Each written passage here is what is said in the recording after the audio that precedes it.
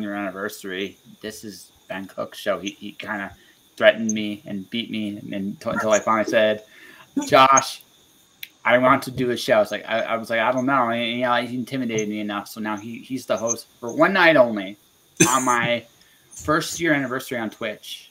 This is this is literally it. So this is kind of a fun little like thank you and and I thought this would be a cool way to actually do it. So without further ado, I'll show up now. It's Ben's turn. Okay. Well, first of all, I want to say uh, I'm going to readjust this camera. No So. I'm a little more centered. That's good. Um, and, uh, professionals here. Right, exactly. Yeah, Yeah. doing it live in front of everybody. Um, and uh, I want to say congratulations on your uh, one year anniversary on Twitch. Yeah, thank And, you. um, you know, I'm. I uh, I also want to thank you. Um, you were one of the people that helped uh, me uh, crowdfund my comic um, in the spring of this year, and everybody's got their copies now. All of my rewards have been sent out, and it honestly couldn't have happened without everything that, that you and and all the other podcasters did to help me kind of boost my signal. So you guys never get a chance to be interviewed or have anybody kind of uh, ask how you do what you do, but I, I'm like a naturally curious dude, so I always wonder about that kind of stuff. Okay, hey, I'm looking forward to it. I, I, I'm doing my last bit of advertising here. I do. It I honestly, all I'm going to let you in on a little secret. All I really do with people is tell them what's already true, which is they can you can do this. Like there's nothing in this world that you can't do. There's no one in this world that can tell you no. But often, more often than not, um, we have to deal with our own bullshit, right? And that's the Correct. honest. That's the honest truth. Like we all have to deal with kind of a our own like, hey, Yeah, this is your worst enemy, right? I have eight rules to success, right? And the fifth rule. So I this podcast won an award about four years ago, Congrats. and or like four or five, well, something like that. I've been, I've been doing this a while, yeah. and um, I had like this real like like imposter syndrome moment, and Mhm. it occurred to me it's like this is like I've done nothing different. And then it occurred to me that's right, I have done nothing different. So I actually made a really honest assessment of myself. How Yeah. did I get here? What do I do well? What could get me in trouble? I try to avoid number three as much as I can. I'm, I'm certainly human. I, I've definitely had my own share of fuck ups, and I acknowledge those. Sure. Um, but one and two are super important because the thing is, it, it's like we all get in our heads like we don't, we are, we for whatever reason we need some kind of like um, validation or permission or something. The Yep. truth of the matter is, I kind of, I kind of look at it like this. It's not because we fear we can't do it. It's actually, I think, the opposite is that we fear we can yep. and absolutely. that's a and that's a very like that's a very real um fear it like imposter syndrome and fear of failure fear of success is actually the same fear it's a fear of change Mhm. right if i fail and i gave it my all well i'm going to change because i'm going to learn something from that experience i hope right Mhm. right? But if uh, if I i- if I succeed, well, now I'm going to have expectations on me I've never had before, Exactly. Right? So it goes both ways. It's the same fear, though. Ultimately, it's the fear of change, and what I've been able to do, like I've had this very fortunate interview people like yourself who are kind of coming along and doing their own thing. I've had people who have been super uber successful on this show. I Yeah. like like one of those surreal moments in my life was when I interviewed Spider Robinson. I've interviewed like Kelley Armstrong. I've interviewed Jonas Saul. I so it's like you get these really successful people on your show, and you're like, how did I do that? Men, Yeah. right? It's it's one of those like weird, like surreal. But this is where this goes. You start Yep. doing things, and just momentum happens. But the question is, are you smart enough to get out of your own fucking way and just let it happen? Yeah, and I think preparation is key as well because, like, you know, a lot of things that I tried when I was younger that I thought I was going to kick ass at, I I wasn't as successful as I expected to be, and it was just because um, I hadn't done enough uh, uh, legwork to be properly prepared for what the next stage was after trying. Right? Because trying is easy, but actually, like, going back after you try the first time and like considering what you could have improved on or or learning from the mistakes that you made um, it, that's that's the that's the hardest part to me um, is to like and that's the getting out of your way part i think in, in in my mind is when you screw up don't don't feel like that's your character right and also when you succeed uh, don't attribute that necessarily to your character it's like you're you're attempting you're working and you're developing and you're kind of climbing a hill you know so it's one step at a time kind of thing I, I, I tend to look more like, like a roller coaster than a hill. It's just a roller coaster that gradually gets farther, higher and higher up as time goes on. I actually see it the same way. Yeah. Yeah, yeah, yeah. It's just because. Okay, so I just literally wrote a column for for a website and talked about the four reasons why freelancers get fired and client you fire clients. The first reason I talk about is what you're just talking about here. Sometimes you're just not ready. Yeah. It's also ironically the most forgivable of all the sins because here's the, here it's it's attitude is just so this is going to probably be one of many controversial things I say tonight. I actually think talent is the least important thing to success. I, I agree with you. Yeah. Agree with you. It's, it, it's the attitude. Your attitude is everything. Now, you're gonna get your ass kicked sometimes. That's just that's just life. Like you're not gonna you're not gonna go out there and say I'm gonna hit a home run every single time because that's just that's not gonna happen. Yeah, But your why- expectations are way too high. Yeah. Well, just just go like it's like this. You're gonna have a success. You're gonna have you're gonna have failure. You're gonna have success. You're gonna have failure, and, and, and over time, right? Over time, if you if you stick at it, if you stick to it, and you keep going for it, going for it, going for it, going for it, bigger and better opportunities will come your way. Now, what they look Sure. like, no one can say for sure. I, rule four, like I have a look. So rule five is get your fucking way. Rule four is the rest is rain. What, what that means basically is you can't control how the rain falls. Rain's gonna fall, where it's gonna fall, how it's gonna fall. Your job as a artist, professional, it doesn't matter what it is. Your job is to do everything in your power. Scale professional, professional, right? Totally, totally professional.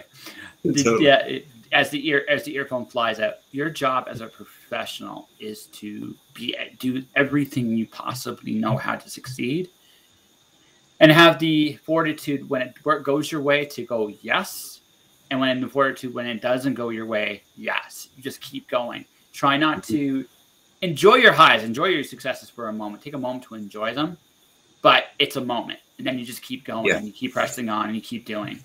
For sure. Yeah, it's a um so like on, on the topic of talent, um this is something that I've thought about a lot over my life because I've always been a creative person, but I always haven't had I, I haven't always had access to um the outlets uh, that that allowed my creativity to kind of flourish. So I always wanted to play drums. I've always been a musical person, but drums was the instrument I wanted to play.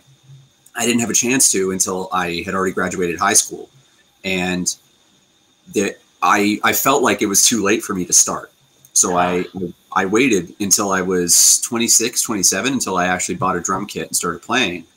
And you know, I had I had you know been keeping beats for people on hand drums and stuff like that for a long time. I knew that I had a natural um, talent for rhythm.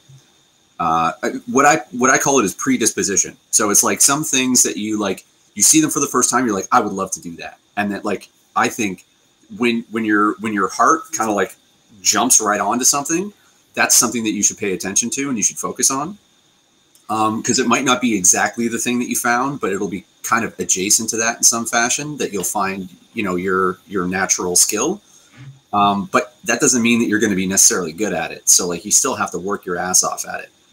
Oh, know? it, it art. Mo- most people like. I think the biggest misconception about art is art and sports are similar in almost every way, in Hmm. that you c- th- there's especially someone wants to be a professional athlete just for sake of argument. Yeah, there's great money to get to the top, but it's a lot of work to get there. It's a grind. It's a it's, it's a huge grind. It's it takes discipline. Hmm Some of some of the most disciplined people I've interviewed on the show have had come from either an athletic background or they take some kind of discipline along the way. I, I and it has prepared them for what they're doing now because art, there's no rules. Like you could end up literally anywhere. Like it, it, it really can go so many weird ways. The thing you hate the most might be the most successful thing you do, right? Like that's the thing about art. I, I sincerely hope you don't hate it. Like whatever you do, Well, you know- doing it. What I mean Yeah. by like the thing you hate the most, like it, maybe to rephrase the thing you like the least might be the Yeah. thing that people love the most, right? Yeah. So I, I wouldn't. I wouldn't. I wouldn't. Uh, I wouldn't wish Arthur Conan Doyle's fate on anybody because that that that is uh, that is, that it would be a shit show. For Mhm. those of you who don't know, Doyle hated Holmes. He hated Sherlock Holmes. He actually killed him off. That was there, right? And then years later was just driven to write him more of him, and he hated it. That's why, like the second act of Holmes's life is such a mishmash. Like the early Holmes stuff is the best stuff because it, he he was invested in the character. He, he just had gotten tired. He said everything he wanted to say at it, and then he introduced Moriarty and killed Holmes, and then he brought Holmes back, and he's like, "Oh shit!" Right, and that was literally that was Yeah. literally his fate. And and um, I mean, Conan Doyle wrote Lost World, which is a really good book, but most people Right. don't talk about that. Most people don't talk about Lost World. Most people talk Right. about Holmes. So I mean, it can happen. I just, I just, yeah, I um, again, I never intended to do this podcast. It, it was an accident. Like it was a total. so how did it start? Like how long ago did it start? About seven years ago, almost now, six years. Seven? seven, yeah. So, So what was, the, what was the uh the, the the catalyst that got you, you know, like Uh, on camera? oh on camera. Okay, so that started a year ago. Um, so Oh, which, okay. which, would you rather first? I'll answer both questions. Sure, yeah. No, I want to hear I want to hear the whole story. So let's So, start Okay, so I've been interviewing people for 20 years. Just Okay. quietly, I've been published in a bunch of different places. I've done interviews. I had the opportunity, uh, so I had the chance to interview Robert J. Sawyer. And Robert J. Sawyer is the author of Quantum Night. At the time, it was Quantum, Quantum Night. He's done a lot of television series. Flash Forward is based off his novels Mhm. uh, his novel of it. He's done a lot of really cool sci-fi novels. So eh, like I, I'm a big fan of his writing, and I got the opportunity to interview him. And the interview went. It's episode 20 on the podcast list on my YouTube channel. You can go listen to it. You can hear it for the first five minutes. I was nervous as hell because it's Robert J. Sawyer. Sure. But we actually get to a really good back and forth and a fun, a very fun interview. And I remember that. So I don't remember who he spoke to. I think it was Arlene Marks, but I could be wrong on this. Come out of the conference room where we were interviewing him because I finally got a cell phone for the first time. It's like yes, that, that, and that's how far behind I was in the cell phone age. Was, uh, I, I'm slow. I, I take my own damn time with technology. I, I mean, when I get into it, when, when I get into it, I really get into it. But I, I, I take my own sweet ass time. The the thing about it was like we come out and he's, he's like, well, and they asked Rob, what do you do? Oh, I interviewed Josh for his podcast. I didn't have a podcast at the time. Right? It's like, and I was like, I was allowed to correct him.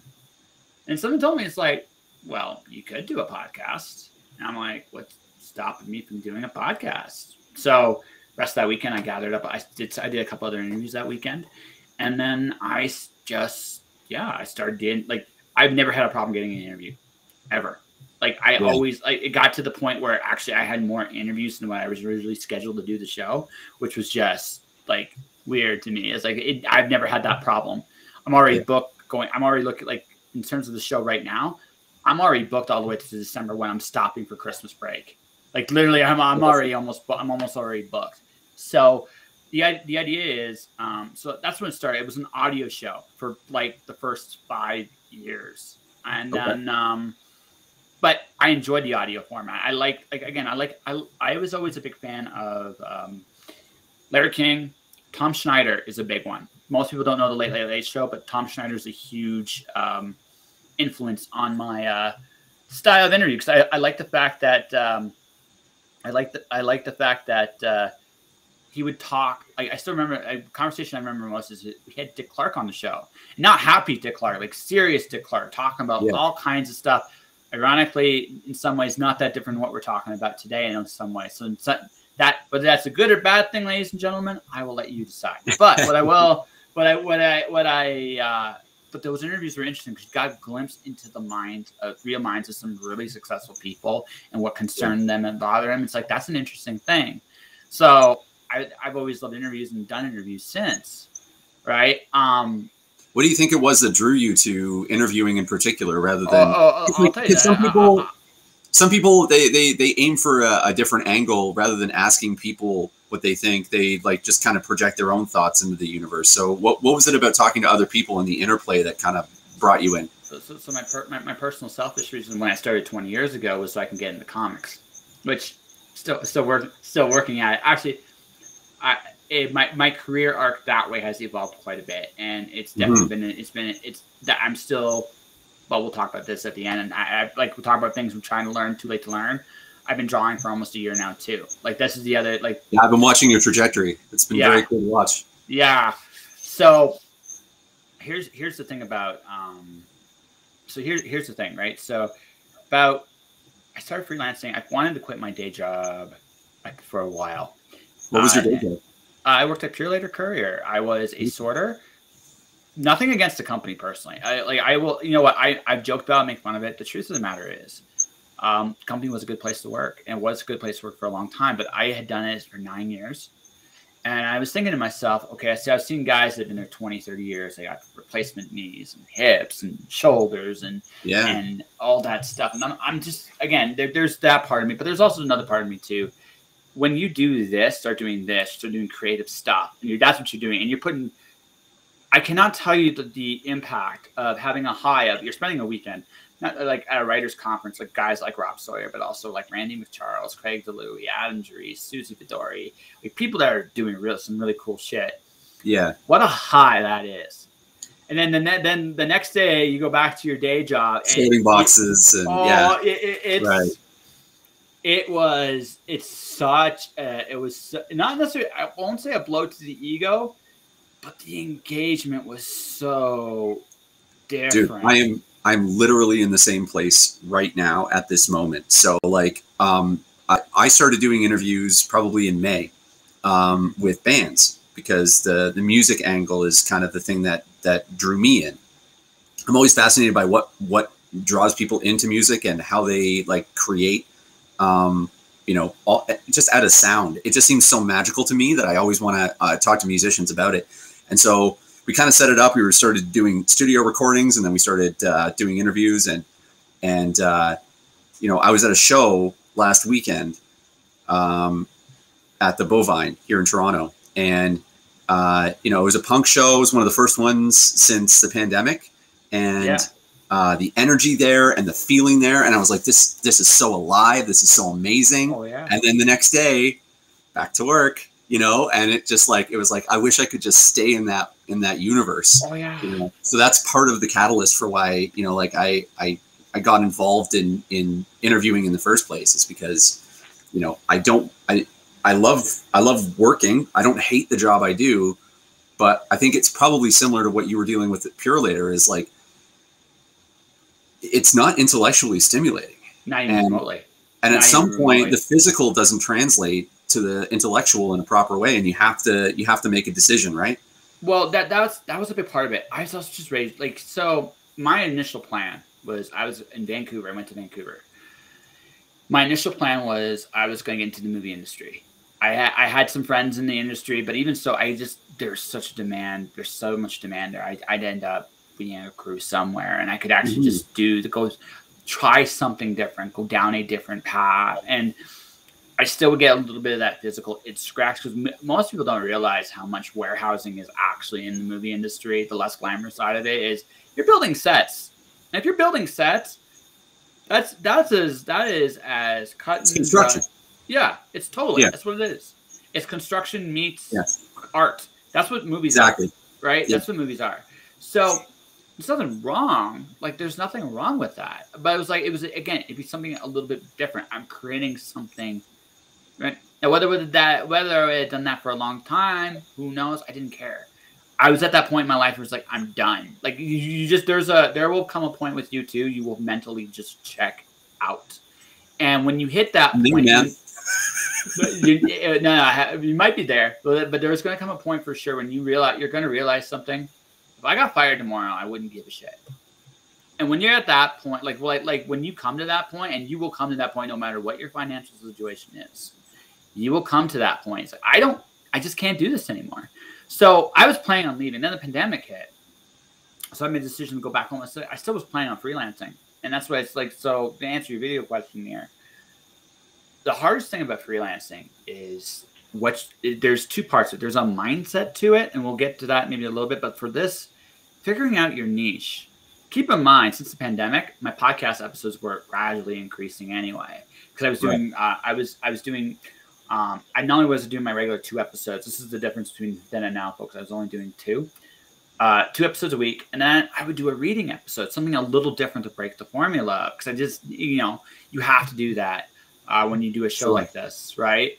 Yeah. So I got some great like fondly read read stuff that she hadn't revealed to the world on my show, and this is like very a really cool. cool. very cool little thing that's there. If people ever want to look for it. Um, yeah. But people like that, I've had romance authors come read stuff on the show. I didn't care, just whatever you want. Like the sure. idea was, the idea at the time was uh, very C.S. Lewis. C.S. Lewis would preach mere Christianity in the when London was being bombed by the, the Nazis that seems like the most absurd thing in the world on one hand, but on the other hand, life goes on. Life always goes on. So I love that, and that's what I did. And then it hit me about October. It took me six months after being a freelancer, trying to figure out what sticks to the wall, all that other bullshit. Sure. Wait, I already have a niche. My podcast is my niche. So why the fuck am I not like? It, it, it was such an obvious like moment. It was just like and it's like, well, okay, so let's go to let's how would I do this differently? And then that's like Twitch seems like a great place to do it differently. Mm-hmm. And and that's so that I, I went to Twitch because one, there's not a lot of writers there. And I say that like not in like a terrible way. It's just, just there is a lot of untapped territory there. Right. And I and there are other things I'd like to do visually with the show still, but again, that's that's we'll get there when we get there. It's not. It doesn't yeah. have to be right away. But the thing is, one of the things, like one of the other things I've started doing is, I do drink and draws with like people that work for Game of Thrones and Warner Brothers, and again, how the fuck? It's this is what happened, right? Yeah, totally. So right, so that's so the answer to the question. Like the movement to video was an inevitability. Like my ultimate end game for the for what I'm doing, I'm good at this if I ended up on like a set somewhere and I was interviewing people like you every day, it, eh, that'd be great. But you know, yeah. you know that that that's that's it. Is that and the dream though? It's one of them. It's one of them. I I got lots there's lots of things in life I want to do. Like yeah, totally. I got, I got, books to publish. You know, I'd love to meet the me a woman half as crazy as I am, maybe even crazier than I am, where I'm the adult. Cause that that'd be hilarious. But also just be, just because um, you know, like there's again, life's about living in the, like life, especially now. If you're not thinking about living in that moment, about what you want to be, who you want to become now, you never will. And that's and I and yeah. to those people, I'm like, I'm sorry. To everybody else, go for all the shit that matters. I want to be a best-selling author. I want to have my shit turned into video games. I'm not interested in movies so much. I'm interested in video games. Um, yeah right? I love comics. I want to do comic shit. I got I got lots of like goals, and you know, and I'm getting I'm kind of hitting all those little like spots in again ways I never anticipated. So, are you kind of a strategic person, or are you someone that kind of just uh, you, you know whatever wherever the wind is blowing, you just kind of go that direction? Bit of both. Bit yeah. of both. Um, you're an idiot if you don't recognize an opportunity and this is how I say it. Like sometimes if you're going with the flow and you just one thing's leading to another, leading to another, leading to another. If it's along the path you're going on, why the hell not? Like just what, right, right, right, right, right, it, right. It doesn't yep. necessarily like okay. I just showed you. I'm doing a show about Canadian immigration. I'm trying to convince people to come to Canada. Not what was on my radar, but same token, I'm hosting a show. I'm on a show formally talking about like dealing in a corporate environment. I'm reading out like information that goes that's read on any show you see on television. So I'm getting so I could look at it like it's not what I expected. You're right, but what it is, it's an opportunity for me to expand, take skills that I can use in things I actually want to really, really, really want to do. Exactly. Yeah. Right. And it's also along the lines of what I'm doing. So why would I? I'm trying to get away from like this ordinary job crap because it, it, it there's no future in it. There, there really isn't. Like, there's none.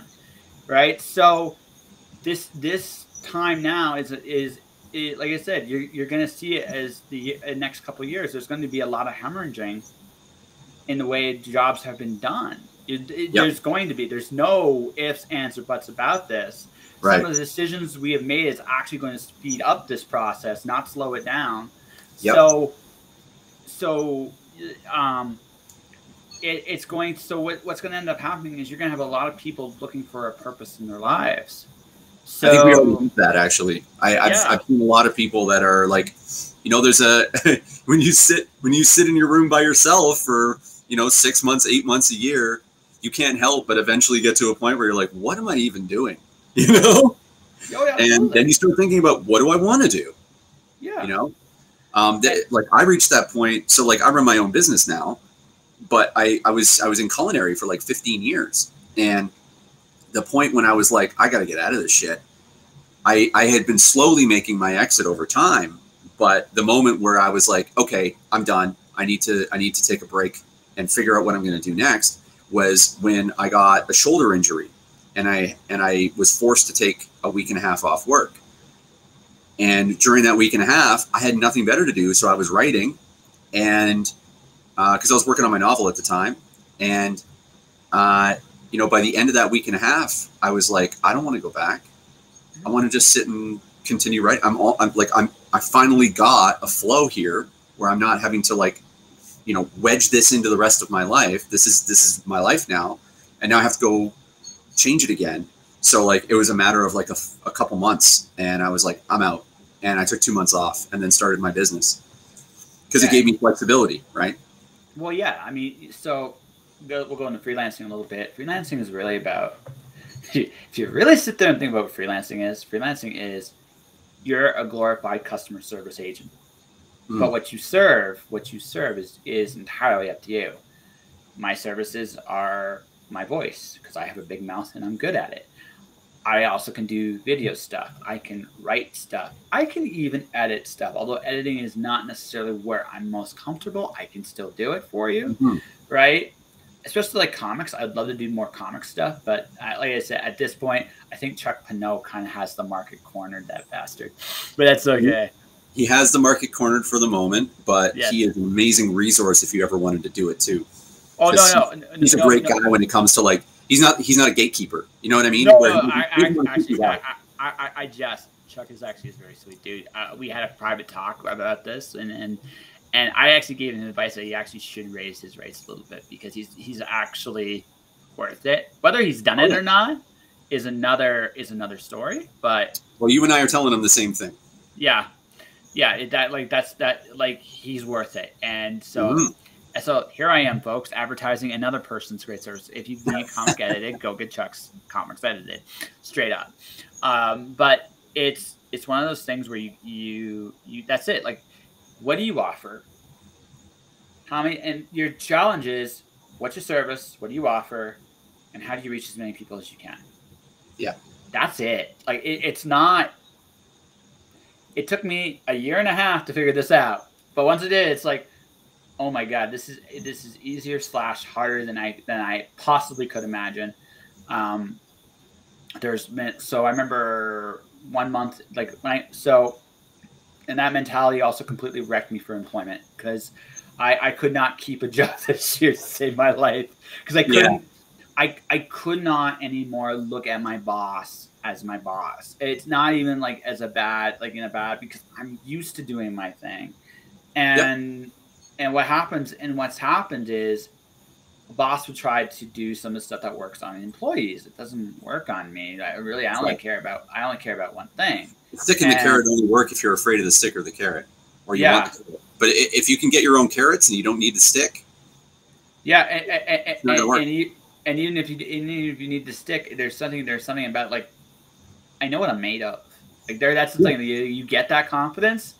So yes. I, I think this is this is one of those things about freelancing is once you recognize kind of what the game is, it's like oh, and if more people recognize that with their real jobs, employment would have a very different meaning either. So, do you think that this is something like what you do, the freelance sort of mentality at the very least, depending on like what people's skill sets are? Do you think that that's like the future or do you think that's uh, like unique to a particular mindset and that not everybody's going to be because like i've learned from my culinary time You know, I ended up finding myself just naturally being uh, thrown into leadership positions. And it wasn't something that I necessarily wanted. And I refused a lot of it because I felt like I was unqualified. But, you know, my personality is my personality, and it ended up being what it was.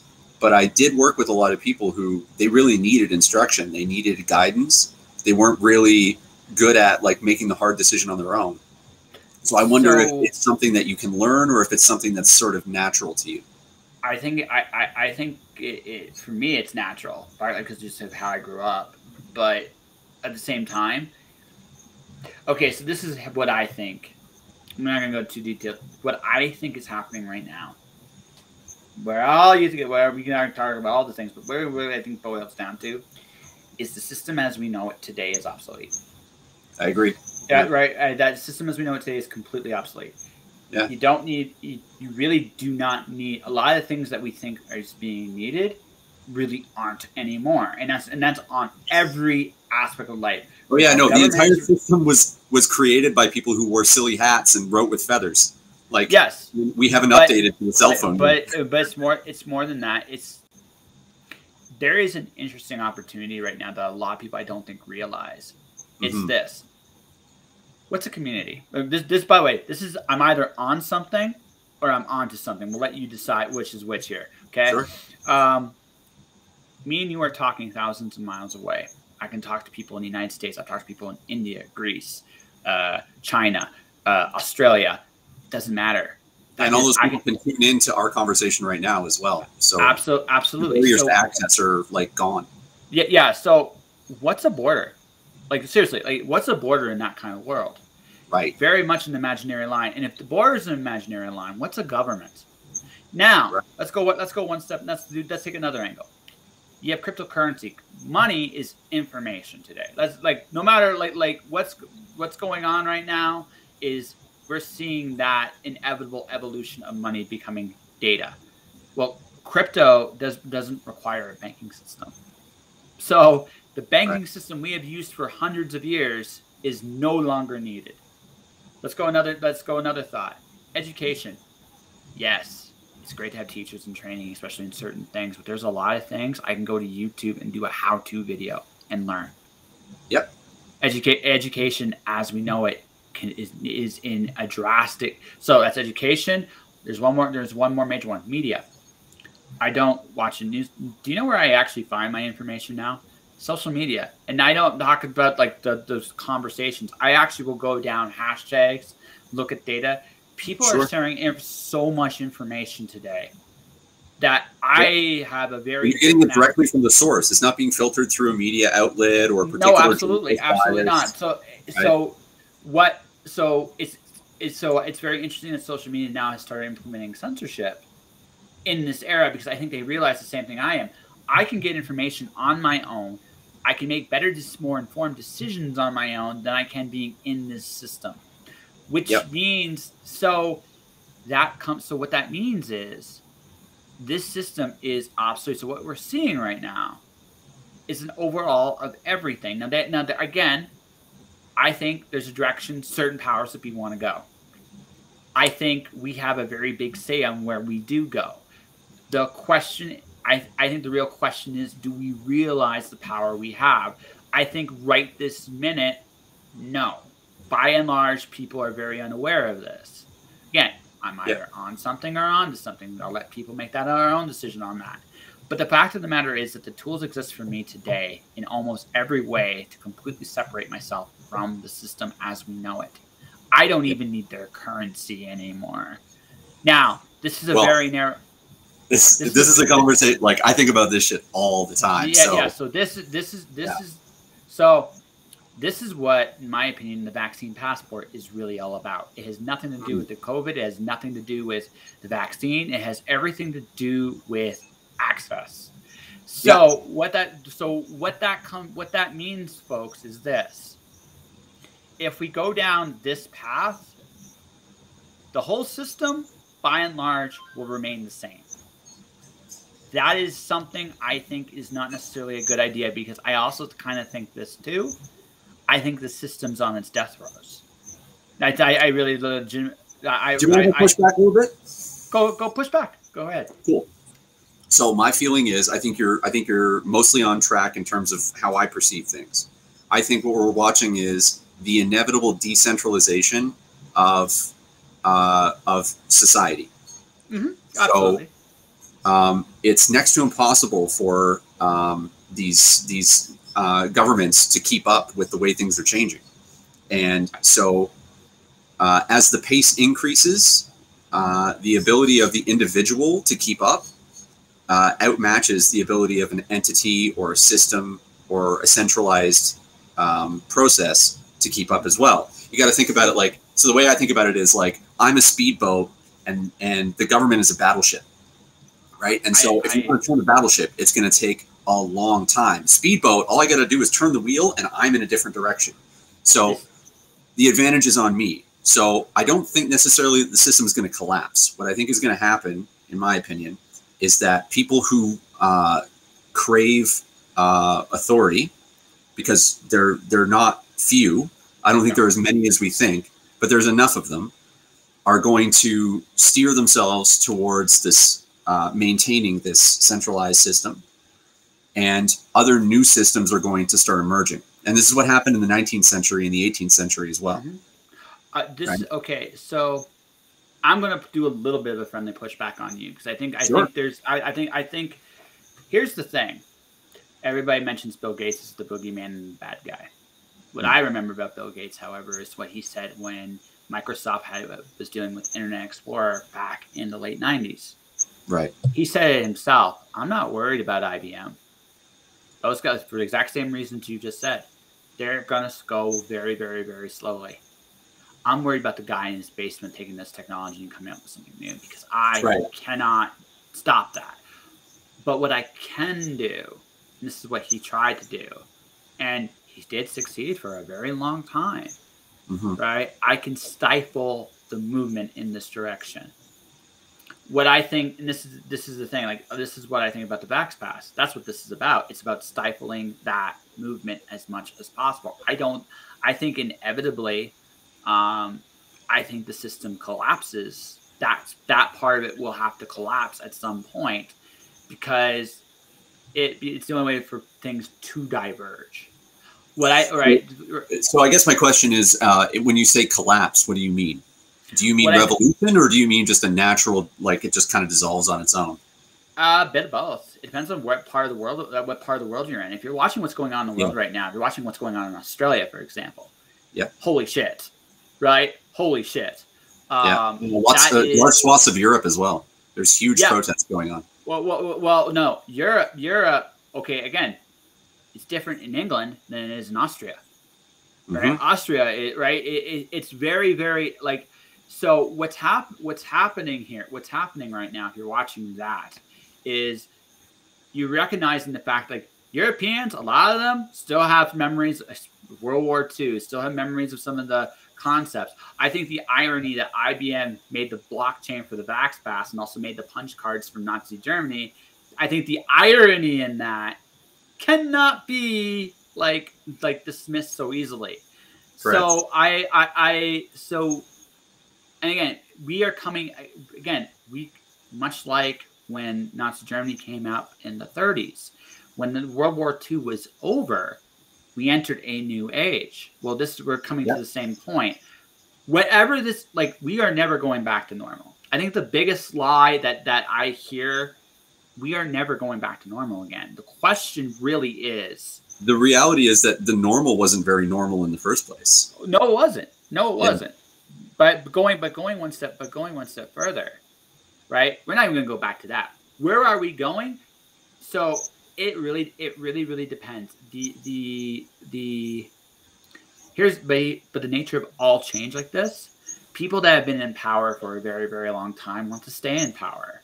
It's just human nature. There's no magic conspiracy about that. And people and people like me who kind of have nothing to lose are looking at it going, there's a lot of opportunity right now. So there's going to be kind of like this clash of what yep. that is and how that's going to be, and that's what's going on right now. Yep. I don't like like everybody else can say COVID. Everybody else can say I don't. Not, that's not what's going on. That, that that is that is the that is the dressing. The real battle is this: Where are we going to go tomorrow? Because tomorrow is here. and that's and that's the truth. And if you think if you're gonna think like it's gonna work like it did when your parents were kid when your parents were going to work, no, it's not. That doesn't yeah. mean there aren't going to be, and going back to what you said, that doesn't mean there aren't going to be jobs that are going to require people to come in, show up to work, and do their thing. There always will be something like that around. Sure. However, however, no one's retiring. What I think, what I, what I truly, what I truly think, as far as that goes, is, is most of what we've done now, everything is going to be transitory. We're no longer in a world of stability. Like you're not, you get a job in a corporation, chance of you staying in a corporation for life is virtually zero. You get yeah. a job in a kitchen, the chances of you staying in that kitchen longer than a couple years is zero, right? What's going what like every every job has become disposable. That is the unfortunate truth of the world. What that means, however, is there's opportunities to create new things. That's what's going to happen. Like assuming we do not let ourselves go down the full path of segregation, divide, and conquer, there's so much possibility of what we could do literally today, right? Literally well, today. So I the the I think um, for me over the course of the, the pandemic, talking to friends and family members and you know just people, you know, I interact with a lot of different people. Um, I found that uh, there's a uh, I think the lack of awareness that I do notice, I think people, everybody has a very strong sense of what they think is going on and what they think is coming. Um, and uh, I find their perspective on where they think things are headed is relative to where they want things to be, not necessarily the reality of the situation. And my my opinion is that um, if you want a centralized authority, then you're you're choosing uh, to let uh, decisions be made for you on your behalf. And I, I'm not moralizing. I'm not passing judgment on that particular perspective. I just think that if you want one, then you have to accept that the other is the case. And uh, I think people of your and my disposition find that to be frustrating um, we are people who we like to observe the world and draw our own conclusions and make our own decisions and act and take the risk that comes with uh, being our own person, right? Mm-hmm. Um, but not everybody is is inclined towards that or even ready for that. And so I think a lot of the de- the decisions that are being made by people or the the influences that they're allowing into their lives are relative to their concern about which risk they want to take on. That's a very, um, I would say this. This is, I think that's probably a very Canadian point of view. And I mean, Ray, I said, and and the, Ray, the reason I say this is because Canadians, by their very nature, are not risk takers, right? But, uh, yeah, that's true. That's true. Yeah, yeah. I, am not saying they're, very, they're very British. Uh, well, we're, we're even British for British when it comes to risk. I think I know some yeah. Brits. I, I I've met some Brits with some huge like like like cojones, either uh, or lady bits, whatever you want to go by, sure. right? Right. Yeah. Um, I also think it depends on the community you're in in in uh, the Canadian absolutely. context as well. No, no, no absolutely. But just yeah. from my I, just from my experience living across the country, sure. Um, I find I find like like compared to an American, my risk ability might be a six or a seven maybe right. more towards a six. I'm much more, but in Canada, I'm closer to a nine or a 10. Yep. Right? I'm closer to a nine or a 10. Yep. Um, because I, I recognize the value. Again, I do understand the value of structure, which is something living in Canada you do have. Canadians undoing in this, and this is something that I think all Canadians kind of have to be aware of. Canadians, as a general rule of thumb, love order. That's the that's that's their general rule of thumb. That's not always a great thing. And I think I, I think I, I think that that desire for an order or an answer is very dangerous when you're not when if you're afraid of what might happen tomorrow and so that's that is it's something that again if you want to do the comparison australia very much is similar to us in attitude. They're not. They're a little bit more in your face, but they're by and large they have a lot of our sensibilities. hmm So, to Canadians watching and listening to this, really pay attention to what happened in Australia during the last 18 months because we are not that different and we could very easily go down that path. Yeah. I'm not saying we will because I can't predict the future. I uh, was listening to uh, Jocko Willink's, I listened to Jocko's podcast, and he was doing a book about military incompetence. And one of the things I really loved about about that whole thing was being detached from the outcome of a situation. I can hope for a renaissance, right? I can also see ruin. That doesn't necessarily mean that doesn't necessarily mean either of these things are going to happen. What, what, what- right? What that means is I'm aware that there's there, there is a lot of good that can come from this moment in time. There's a lot of bad that can come from this moment in time.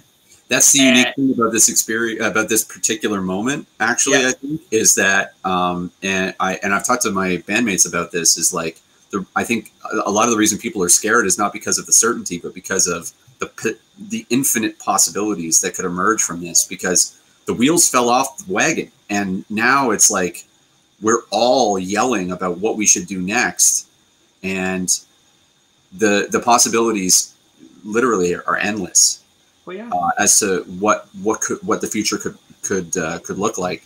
I think that's always been the case, though, and I think Sure. that we have been acculturated to believe that things are very simple and that they follow a very uh, very particular. The idea of human nature, I think, is sort of like it's limiting. Um, I don't think that we. I think we have uh, biological tendencies that come with being a primate, but beyond that, we have shown ourselves to be capable of transcending our nature over and over and over again and like we we forget that at our peril i think because we can go down the wrong road too the infinite potential also includes destruction so you know Well, so this goes back to what I said about being in love with the outcome. Mhm, So if you keep an open, if you can keep an open mind, I think we should go a certain way, based on my nature. I've already said that the Vax Pass is a terrible idea. I mean, Yeah. it's a horrible idea. That all said, right? Um, other people might disagree with me. That's cool. Sure. I right, right, and I'm not. Again, I'm not here to, to debate that. What I will tell you is, every day I get new information. Every day I reevaluate my premises. I'm not Right. in love with the. I'm not in love with the outcome, right? Oh, but if I get, but here's the thing: if I get enough information that tells me it's going to go one way, it's very likely going to go one way. And if I can see the reactions, again, if I see the reactions going around around the world, I already kind of, I, I, I just, I just think human nature isn't that different anywhere you go. So where, where I can see Canada where Europe is in a year, easy, right? Mhm. I could see it easy because there's going to come a point where people are going to be like, are going to push back against this to some degree. That all, that all said, um, right? I don't know what that tipping point's going to look like. I have an, I I have an idea, but I don't know what that tipping point is actually going to look like. So, what in the meantime, things can change. Tomorrow, sure tomorrow, COVID could mysteriously disappear. I don't think that's going to happen, mind you. very unlikely yeah Right, right. But it's a possibility nonetheless. I'm not I'm not of the mindset that anything's impossible. right And so we as as we we like order, we like structure because we like a guarantee. There is no such thing. Life is fragile. At the best of times, life is fragile. At the worst Yeah. of times, you're just aware of that fragility. But in that fragility, there is again there's, there's infinite possibilities. There is magic Right. that can be made. Yeah. That's the that's the that's the um that's the uh that's the beauty. But the thing is, it's not for the pain of the heart. It's just not. Like you're gonna go out there, like you're gonna get your ass kicked some days. right Hell, there's no guarantee tomorrow I'm gonna wake up. Like that's how fragile life actually is. Like Yeah. there's none none of those guarantees. yeah Right. well i think we've i think we've been uh we've been distanced from our own mortality for enough generations that it's become forgotten and this is something like when you when you read old uh like religious texts all the stories that are in there are are kind of they follow a similar vein, which is like the society is uh, establishes some form of equilibrium, right, where everybody's kind of working towards a common good, and then they lose sight of their goals and they become decadent and comfortable and a little soft, and then someone comes along and says, we did this before and this didn't work out. If we do not change course, we will run into the iceberg. And everybody goes, ah, what do you know? Everything's been fine for 100 years. And then there's an iceberg and no one's paying attention. And then there's chaos, right? But it, it never results. The thing I, the thing I, I, I worry about is that everybody has this attitude that it's either everything's going to be a utopia or we're going to be, the species is going to be wiped out. And it's like, there's so much room in between those two poles Absolutely. that are far more likely. And I think um, I think multiple things could happen simultaneously. So I think we could have some places that are utopian, some places where um, you know the it's uninhabitable for whatever reason, or you know people just wipe themselves out through whatever um, crazy situation occurs. But like it's not. I I don't think you know, the planet's been around for 7 billion years. Meteors have hit it. All sorts of crazy shits happened. It's still, life is still here. So, like, the idea that we could, like, the planet's going to be fine. It's a matter of, like, what we want um, our future to be, you know? Well, the beautiful, the beautiful thing about life, here's the beautiful thing about life. I can fuck up, and by and large, my consequences are tiny right? That's the truth. Like that that's the because that's because of the safety we have, though. No, no, no, no, no, no, no, no. I could be a great A world class. Hey, listen, I could be like Genghis Khan. I could build like a mountain of skulls, and I could literally walk over the wall with them. Wouldn't matter. At the end of the day, this is the best. This is the greatest. The greatest gift we have is time. It's also our greatest curse. It's also it's a great our great it's our curse because we forget. That's the thing about it, right? Like, like what you're mm-hmm. talking about. We forget the fragility. We forget what we fought for. We forget all those things. Right. But at the same time, what it means is that also tomorrow we have a chance to start new. And the best thing about that is, right? No matter how bad I screw up, almost it is almost a guarantee. No matter how bad I screw up, chances are my mistakes will eventually be forgotten. World doesn't care. And that's the best thing about it, right? So I look at it like you are what is going to become the other thing I think is going to be very apparent, eh, I think, for at least in the short term, we're going to become a far more dishonest society in the next couple of years. There's going to be a lot less. The rules are going to get fast and loose. I think it's time for the next. Sorry, you don't years. you don't think they're fast and loose already? Not yet.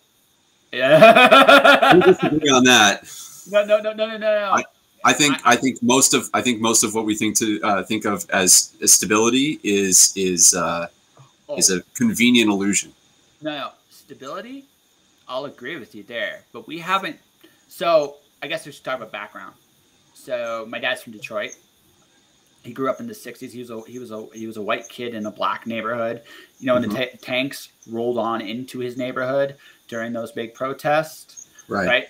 That was there. My grandfather grew up in Germany, and he was part of the Hitler Youth. So I have a very so I have a very different perspective of what sure. dishonest is than most people. We haven't gotten to those extremes yet, but do I see us going sure. there? Yep, I do yeah. because um, we again, this is the trap I think Canadians fall into. We love order. Rules doesn't necessarily guarantee order, but the tendency is right. We're going to put more rules in, so we're going to create this Chinese finger puzzle effect. The tighter we pull, the tighter the noose will get, and the more things will slip out. That's what's mm-hmm. going to happen. Like law, I, I again, it's one of those old lessons. You need a balance of freedom somewhere. If you don't have it, you, you will create a dishonest, ruthless people, and that. So, so I'm curious. Um, Mm-hmm. Let's imagine that you uh, you get to be in charge. Mm-hmm. What do you think we should do? Right now? Uh, like uh, with a let's let's assume you have a four year term, just like the average prime minister does. What would you do with it? Uh, okay, this is complete. This is probably the complete opposite of what everybody else would do. I would, I would first off, I'd be building better nurse homes. I'd be better building healthcare facilities, hospitals. The one thing COVID, the one thing COVID has basically taught us is basically we are ill prepared as a country to handle these things, handle a real emergency. Mm-hmm. So we also we underpay our nurses, our doctors, yes. our right. So first thing I would do, because this would go a long way, I would I would probably that would be the first thing I do. The second thing I would do is I would do what Sweden did, and I would live with it for a year because that I'm going to follow William Mann's perspective on this, not what we're doing. I feel like it, although it will be very painful in the short term, I think in the long term it is a better course of action than what we're doing. Um, I again things I'm, I'm reading and seeing. I think the meat grinder unfortunately has just begun, and I think that's I would rather. There's going to be there's going to be pain no matter which way we go, but I, I also get to, uh, uh, um, I, I if you want people to feel less fear, make them go seem more normal. The third thing I would do is I would be, I would stop printing money. I would be a lot. I think I think I can see a financial collapse of our dollar. I, I mean, people have already noticed how high inflation's gone up now. It's going to get worse next year. Well, no, the, the economic system is on the rails now. It's, yeah, it's, no, no, it's, yeah, it's to, it totally is. Barely, so, barely hanging on yeah so and then and then final and then finally um and then finally I, I i would be i would be forcing companies to be liable you want people to be a certain you want people to have certain things or do certain things you're liable for everything that you get them to do. Because if you're, you're talking about like pfizer moderna that kind of stuff? That not just that stuff anything along those lines. Because because because here's the thing you are asking people here's the flip side of it right? You're asking people to take a risk. Polio was on um, children was tested with two million children before it was ever allowed. Smallpox was tested by on an army for two years prior to being allowed. People people have been forced. What makes this really tough is that you're basically telling people you're taking a risk. There's no liability, so if something does happen to you, nobody's going to come save you, right? And on top of that, if you don't take it, you are not working. So there's a can't win situation either yeah, way. So consequences either way. Yeah. Yeah, yeah. So that's that's it. There are there are. So if if if you're asking people to take that kind of risk, then companies and governments should be taking the same risk. And if a company or a government is unwilling to take that risk, then that then they can't do anything. Also, I would uh, uh, also I would restore doctor-patient confidentiality. I think that is this is why I don't. This is one of the other big reasons I do not like the Vax Pass is um, that protects people a lot more than people realize. And yeah. uh, and honestly, if you want a vaccine policy that actually works, folks, Japan does a vaccine policy that actually works really well. Doctor patient confidentiality completely. No one takes the same vaccine regimen. Everybody gets one tailored to them. On top of that, right, no one talks about it. That's how it's done. Yeah. You can you can build a system like that and it works and everybody's happy, no one cares. Right. Right? Because it's not about it's not really about taking a vaccine or not taking a vaccine. Here's what it's about. Are you getting a treatment for it? And if you're getting a treatment for it, do I care what it is? Nope. That's that's been that's been my yep. concern since the beginning is this mm-hmm uh, this desire to fit every square peg in every round hole, regardless of whether it makes sense or not. And like, you know, for example, um, my mother has uh, uh, respiratory issues, mm-hmm. so COVID was a real concern for us. Absolutely. But she also has issues with her heart, and the doctor almost gave her the Moderna vaccine without checking first to see if it was safe Mm-hmm. And she got a second opinion, and the second opinion was do not take that thing. Mm-hmm. So, um, and you know, also the mixing of the vaccines that really bothered me because. You know, it was like, and this this happened. I mean, this happened in my house. You know, uh, my girlfriend and, and I got the first shot, uh, Pfizer, and then when the second shot was booked, uh, my girlfriend was like, uh, "I'm not getting Pfizer for the second one," and I was like, "You're not?" There, and so I called to get my second appointment, and and I asked. I said, I, I the only the only way I'll take it is if I can guarantee that I'm getting the second dose is the same as the first dose. And they said we can't guarantee that. And I was like, why not? And they said, well, if you want that, you'll have to go to a private entity. You'll have to go to Shoppers Drug Mart or one of the other people that supply it. And my thought was like, why are we outsourcing this? Mm-hmm. Uh, the why are we outsourcing the choice when the public option should be the the focus, right? Like it seemed like they were just re- relinquishing all responsibility for what was going to happen if anybody got harmed, and it was like, and then and then all of this documentation came out where like the World Health Organization was saying, do not mix the vaccines under any circumstances. and I'm like, there's so much miscommunication going on. You can't even keep track of what the hell's going on on top of that, I mean, a lot of people will tell you, yeah, so mRNA vaccines have been, the concept of the technology has been studied for 60 years. But when you do a vaccine test, when you're testing a vaccine on a population, and that's usually it's a small group for about two years. Why? Mm-hmm. Because in two years you'll see a little bit of the long-term repercussions yeah. of it or as well. Yeah. This has not happened. So I'm waiting because to me, I do not think there is enough information out there to justify taking the shot. I know lots of other ways to treat COVID. I, if I ever get it, I don't get sick very often anyway. So if I, and again, this is me acknowledging a risk. I'm not saying, folks, I'm right on this. I'm taking a risk for yeah, everybody totally. else, right? You know, you know I, what?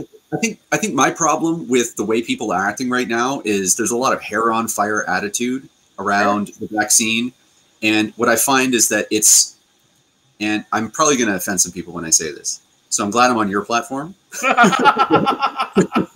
I don't give a shit. So, but uh, but you know the the thing is, it's it's a little bit hypocritical um, because uh, I, I have no problem personally. I have no problem with someone making the choice not to get the vaccine. I chose to get it. I don't think that I don't even honestly think that I needed the vaccine. I was basically doing it because um, you know, the people in my social circle uh, felt that it was important, and I would rather hang out with them than than not. So, and and for me, I weighed the risk. I waited a little longer than they did, um, and uh, and I made the choice that uh, you know I'm in good health, so I think either way I'll probably be okay.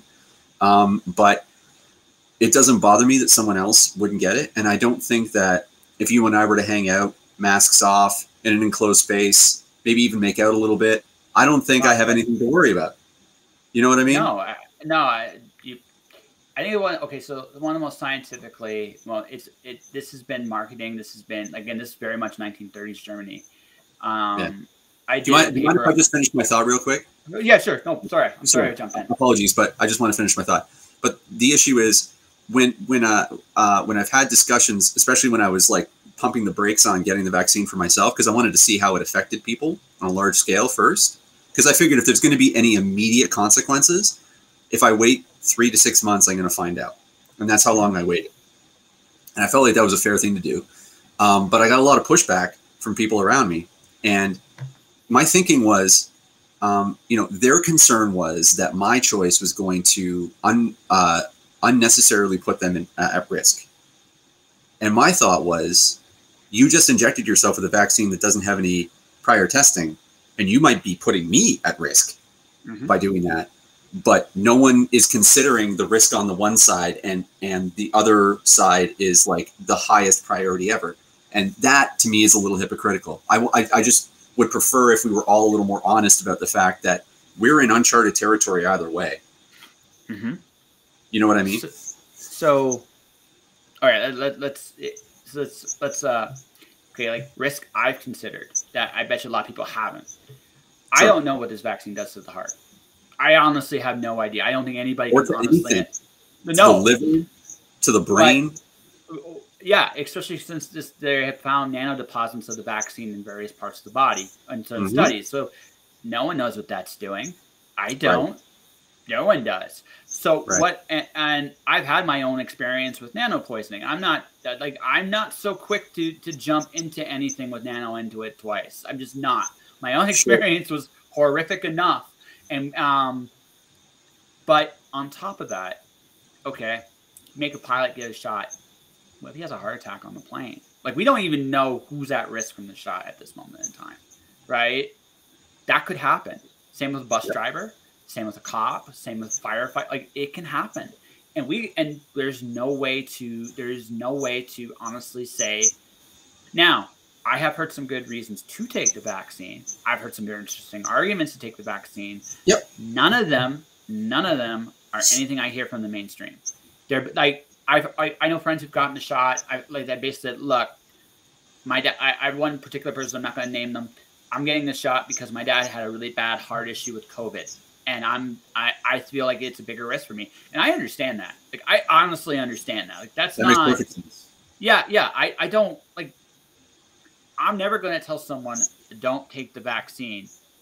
What I am going to tell somebody though is really look around, see for yourself where it's going to go. I, for my research on the vaccine, I've been studying England, Germany, Qatar, Israel. Like I've been seeing other countries that have done it over an extended period of time. Again, mm-hmm. if I'm going to see where we're going to go, I might as well see who's done it first. And yeah. I, right, and, and and because they're going to show you where we're going. I yep. don't. Again, I'm not in love with the outcome. I'm just like, well, I have a pattern to go by here. Let's yes. and, and, lo and behold, we're following the same pattern. It's yep. not rocket science. It's just like look around. You'll see for yourself. If you feel you still want to take the shot, God bless you. If, like me, you want to wait, God bless you. I'm not, you know, I like. Of course. Yeah, that's it. And that's the attitude that I wish we could uh, uh, see uh, become a little more mainstream. Is uh, like it or lump it, we got to live together. Is basically my attitude. And like, if you're if if like I, what what what's causing me very deep concerns is like you know, the collapse of a government or centralized authority doesn't freak me out too much um, because uh, we've done quite well with that centralized authority in the past. It doesn't mm-hmm. seem like it's it's uh, like a, a, death sentence, you know. Um, but what concerns me is the distrust and animosity towards our neighbors that's been uh, fomented by this experience, and that that is how you end a, a society. A government can, can fall and people will find a way to, to, to, to persist. But if you think that the person that lives next door to you is a greater threat than um, the actual virus that we're fighting, that's that's just gonna it's a zero sum game. You're not gonna end up in a good place. It's it's a re it's it's retelling of the HIV epidemic. It's retelling of it's, it's, it's, it's a retelling of it. Mm-hmm. I mean, mm-hmm. it's the exact same thing. I mean, it's not that. I mean, people will say will say that's not wrong. So no, it, it like if you're going to find a scientific explanation in a house, I can give a vaccinated person COVID. Good luck. I, I, I haven't found it. Good luck, right? But no one's looking. It's just easier when people are afraid. When people are afraid, they're looking for anything to blame, right? That's um, right. And I think right? I, I think that what's happening is the lizard brain is running the show right now. Oh, absolutely. Yeah. And it, it's by design. It, it's by to some degree it's by design. I I I, I look at the media and I, I they've done a hell of a job.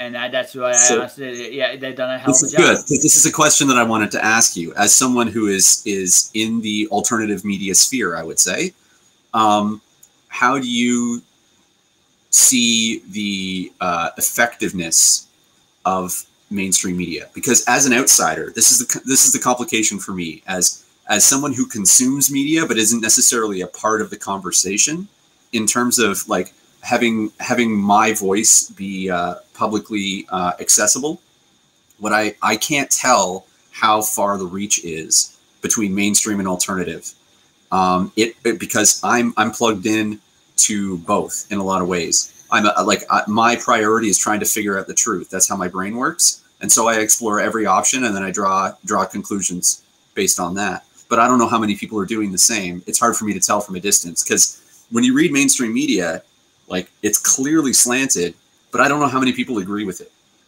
You know what I mean? So, so, hmm. I so I, I think it should be established. I don't think much of this system when it comes to integrity or ethics. I think that's pretty much a given.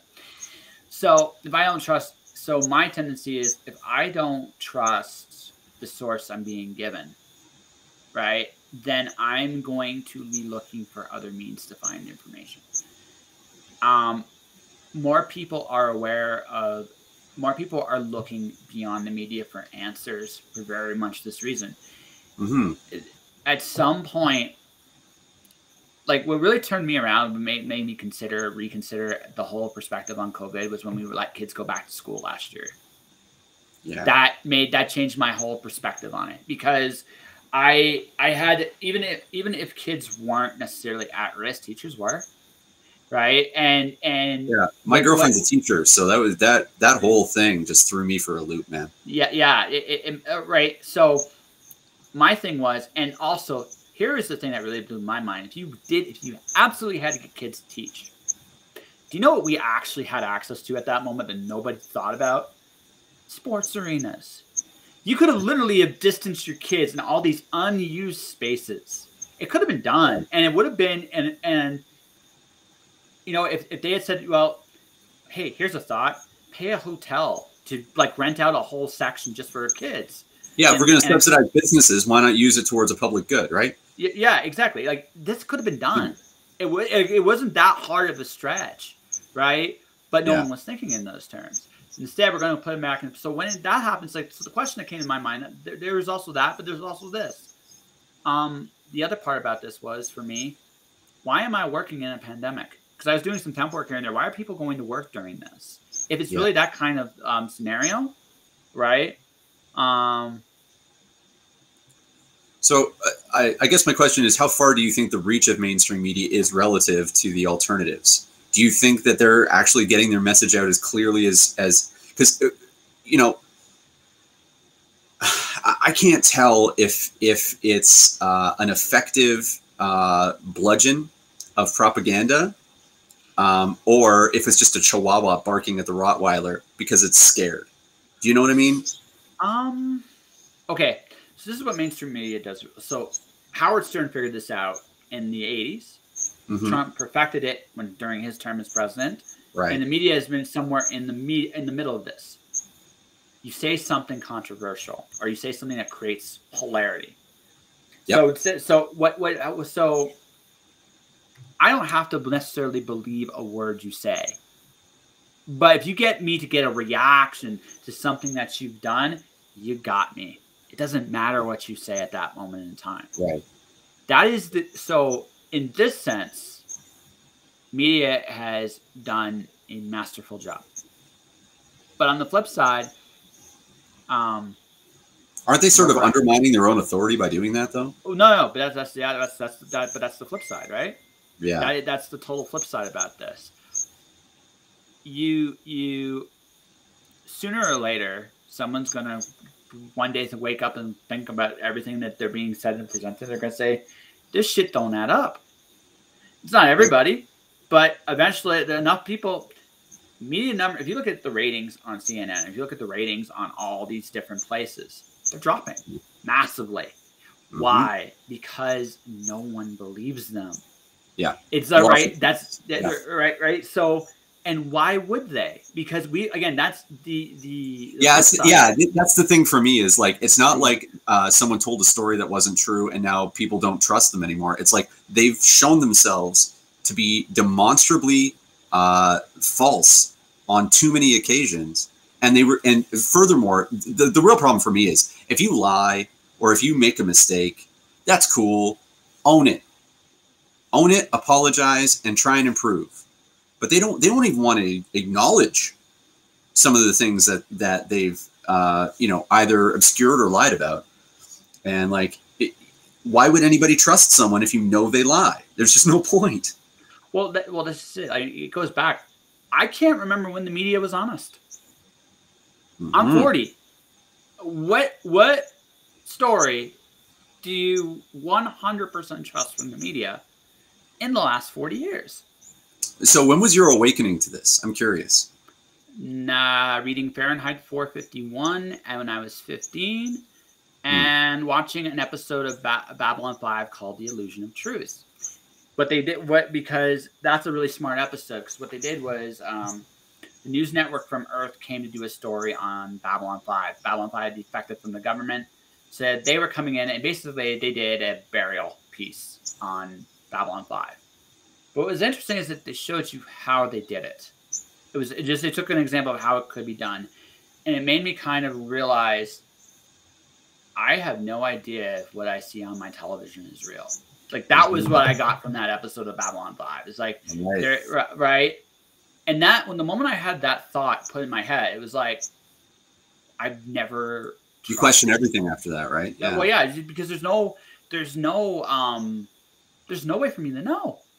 Mm-hmm. I'm taking somebody at their word, and yeah. if you give it, and, and again, and then when you realize it too, like when you realize what, like I remember, like little things, like things nobody remembers. Like remember when uh, GM was hiring in Oshawa, like in the late '90s? I do.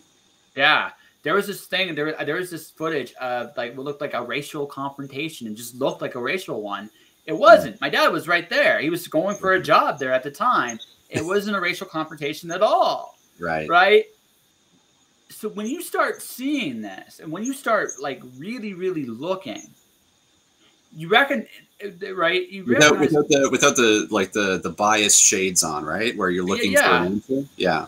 Yeah well like once you once you come to that conclusion once you see like this isn't real like once that comes that hits your head that's it. You never go back. You yeah. can no longer see it that way. Yeah. And so right some people say, well, they don't trust their government, but they trust this. Well, they don't trust this, but they trust that.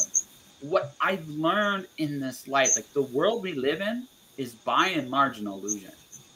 Mm-hmm. And that's like once you realize that, the social never, aspect of the world is definitely mostly illusion. I can even, I can agree with even, that. Yeah. It, even the infrastructure, most of how our infrastructures work, like there's a there's what you think it does, and then there's what it right. actually is. And most people don't know the difference. They've never yeah. they've never considered that they're different. And and what I think what I think is now what's happening now is people again you do this for so long no but like we'll become like Russia. Russia doesn't trust anybody. And why? Their government has openly tried to kill them. It's kind of hard to get trust right. back once yeah. you cross that line, right? Yeah. And it, and again, if you deal with anybody that's come from there, they don't like they're friendly.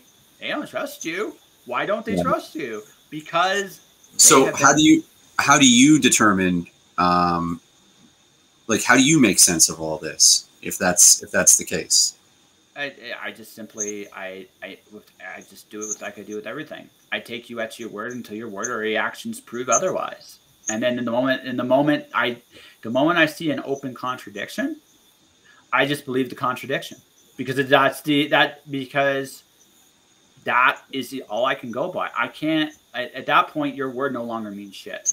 And once that line is crossed, right? I I, I now how do you determine the difference between like an honest mischaracterization without like realizing that you're you're working with bad information and an outright like deception?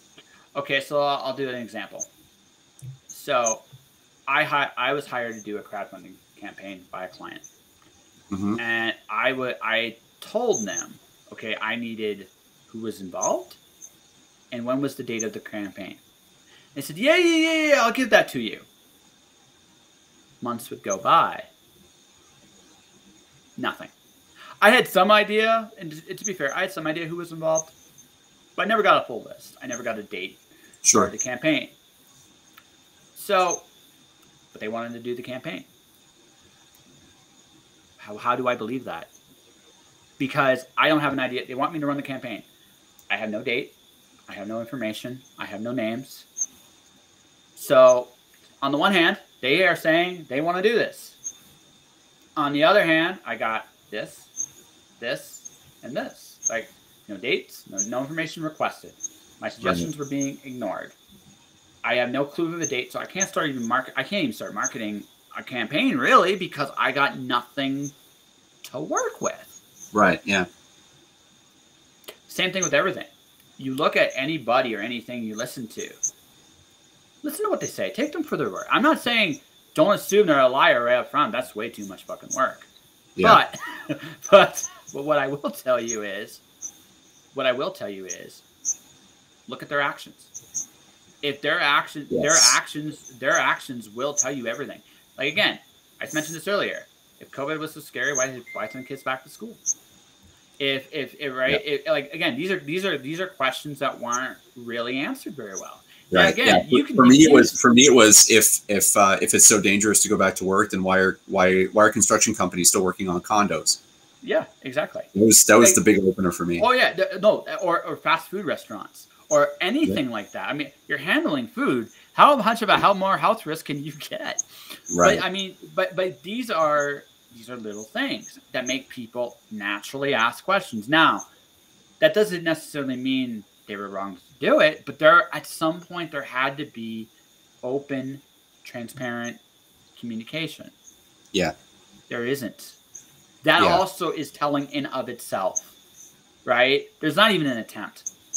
Right? So, do you, do you have any outlets that you turn to for uh for um like an honest uh analysis of things? I, well, it, it, depends on what the issue is. For this, what I've been doing is I've just been reading the latest science preprints. I don't have a peer-reviewed, double-blind trial to go by, so all I can do is look at the latest findings, whatever they are, good and bad, and I look at both.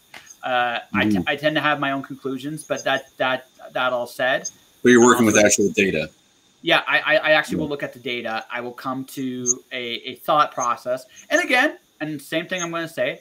I'm data is can be open to some interpretation for sure. Now I've had some great debates about some of that data with some people, right? But what I what I in in that case, that's what I'm going to go by. I am not even going to listen to a damn thing there because nothing isn't going to tell me anything. I'm going to look at the new. I'm going to look at the New England Journal of Medicine. I'm going to look at the New York Times. I'm going to look at the Guardian. I'm going to look wherever anyone's openly talking about this stuff and some of the legitimate concerns I have because I have concerns, not just for myself, but for everybody because I own, like, eh, right? That's because that's where I'm at. Yeah. Yeah. Like, like you said, we're, we're in a, we're in a flux moment. Things are, the potential for things is kind of like, uh, it's beyond anything that we've experienced in our life for sure. Mm-hmm. Um, and, uh, yeah, certainty is the devil when when you're in a in a state like this, right? Um, yep. It's best, like you said, not to fall in love with an outcome or to or to trust a particular uh, messenger. You, you, know, you have to be a little more, uh, a little less certain. I think well, you have to be okay with the uncertainty, like that. Like, yeah, like, really what it is. Yeah, yeah. Like I've had my own near death experience. I've had my own. I've had my own like experiences. Same. Yeah. So when you go through those things, death doesn't scare you the same way. You recognize no. the fragility and you've made your peace with it. And if you have that in you already, this can't rattle you. Right? This can't this really can't rattle you. What what it can do is it should make you aware how fragile life is. And I encourage anybody, no matter who you are, go for whatever dreams you have because you don't know how long you got. That's the one thing that's not guaranteed in this life. But you know, what I would tell people, and this is what I just tell people regardless, you know what you're here to do, do it, right? Whatever that is. And from there, from there, like beyond all that, just, just let live and let live. It's not super hard or super complicated. And it's, you'll find that if you have that attitude with people, um, the world is generally a better place. Yeah, so to pivot away from uh, no worries, go ahead. The most controversial subject we could possibly pick. Um, you just said uh, uh, you know what you're here to do. Mm-hmm. So uh, how how do you know what you're here to do? Because I know that there's a lot of people who, out there who doubt, and I'm curious how uh, how you discovered it or how you uh, have the certainty to kind of move forward. I, I just have always listened to the voice in my head, just kind of like to do this thing, and and it's been there pretty much since I I'm in Canmore right now. Okay, okay. making yeah. everybody jealous of my mountain pictures, and because, Yeah, yeah. There, there we go. I hate you so much. It's like, but it, it is what it is, right? Um, but I just there was something inside me that said you could do the most good here. Uh, I don't know what that is exactly, but um, that's uh, that's kind of what I went with. I kind of kind of a wing and a prayer on this, but at the same time, you know, I'm doing okay. I uh, it, it like I said, I I've done something a lot of people freelancers kind of wish. I've already hit I've hit four figures, and I did that very much, a very very very much a uh, a quick deal. It's like holy crap, and uh, so now the next step is do the next jobs. Which again, I got myself. I just finished a writing gig, and that, and I'm figuring out the rest of my package. And once I do that, I mean, just doing what I've been doing. So how do you determine how do you determine what's a yes and what's a no? I close my eyes and I ask. Hmm. It's really simple.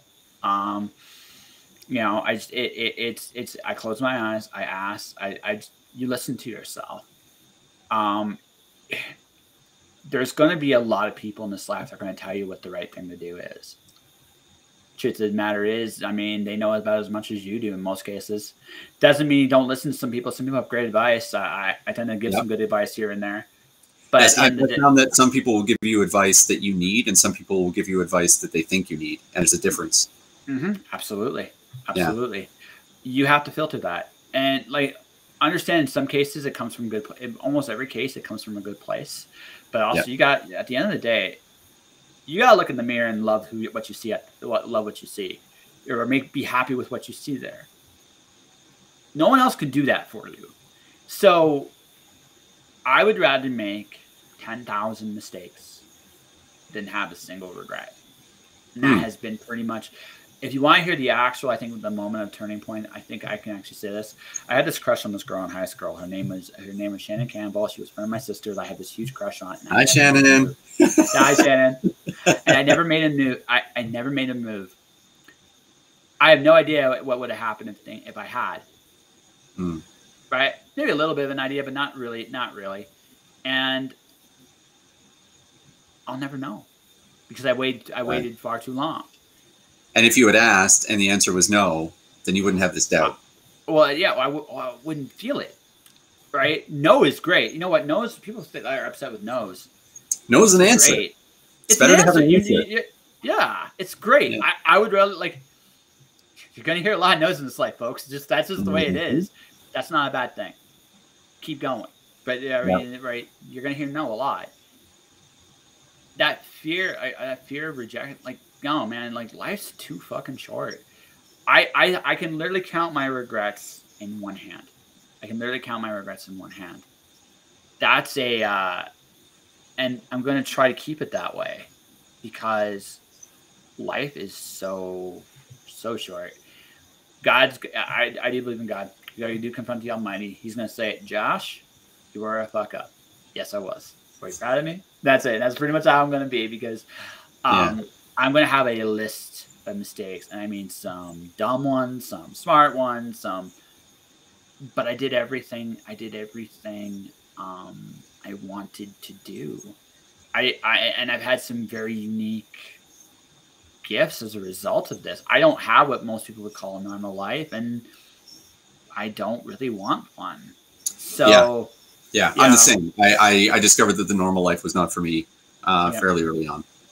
Yeah. yeah. So I mean, now, like I said, going on a date would be nice right now, but I mean, beyond that, I mean, that's a that, that's a that's a that that that's just that that would be a nice to have. But beyond sure. that, but but but beyond that, I'm writing books. I got a book coming out at the end of the month.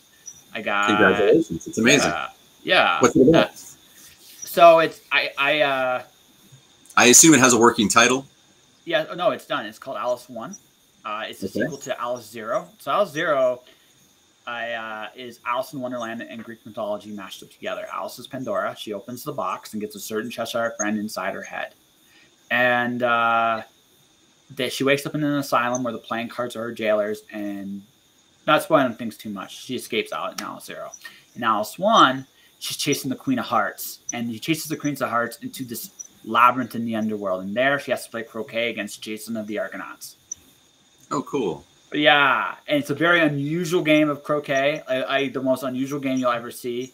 Uh, it's got undead hydras, dragons that don't sleep, right? The Argo, the Argo shows up in there as well, as well as a few other things. And then from both Greek and and Wonderland, it mashes together incredibly well. It's fun. The first book is nominated for the Elgin Award this year's oh, book. Yeah, and and the second book is uh, um, up for uh, the second book is uh, is out December first. Yeah, amazing. Yeah. Uh, where can we find it? Amazon. You can oh. go on Amazon. It's on the all powerful Amazon. It's not a comic. It's a it's a uh, it's an actual epic poem. So Oh, cool! Uh, like in, yeah. in, the vein of the Iliad and the Odyssey, kind of thing. Yeah, yeah, very much so. Uh, very cool. Yeah, oddly very appropriate. Uh, a friend of mine who actually read the. Uh, I'll give you the link here just a second. Again, sure. I am I'm a trained professional, and, and, and, and I, I come prepared and shit. So I'm going to do it here first. Right, I'm going to do it here first, and then I'm going to do it. I'm to turn on the chat overlay here so that people can see it.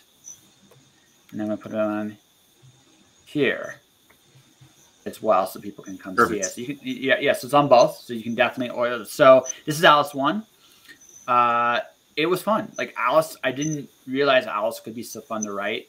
As to why I wrote her, it was because I was requested to. And then I met a girl in the bar with a Gorgon tattoo, and then just life just evolved from there. So and then it just it just kind of came to life. It's all inspiration comes from the most interesting places.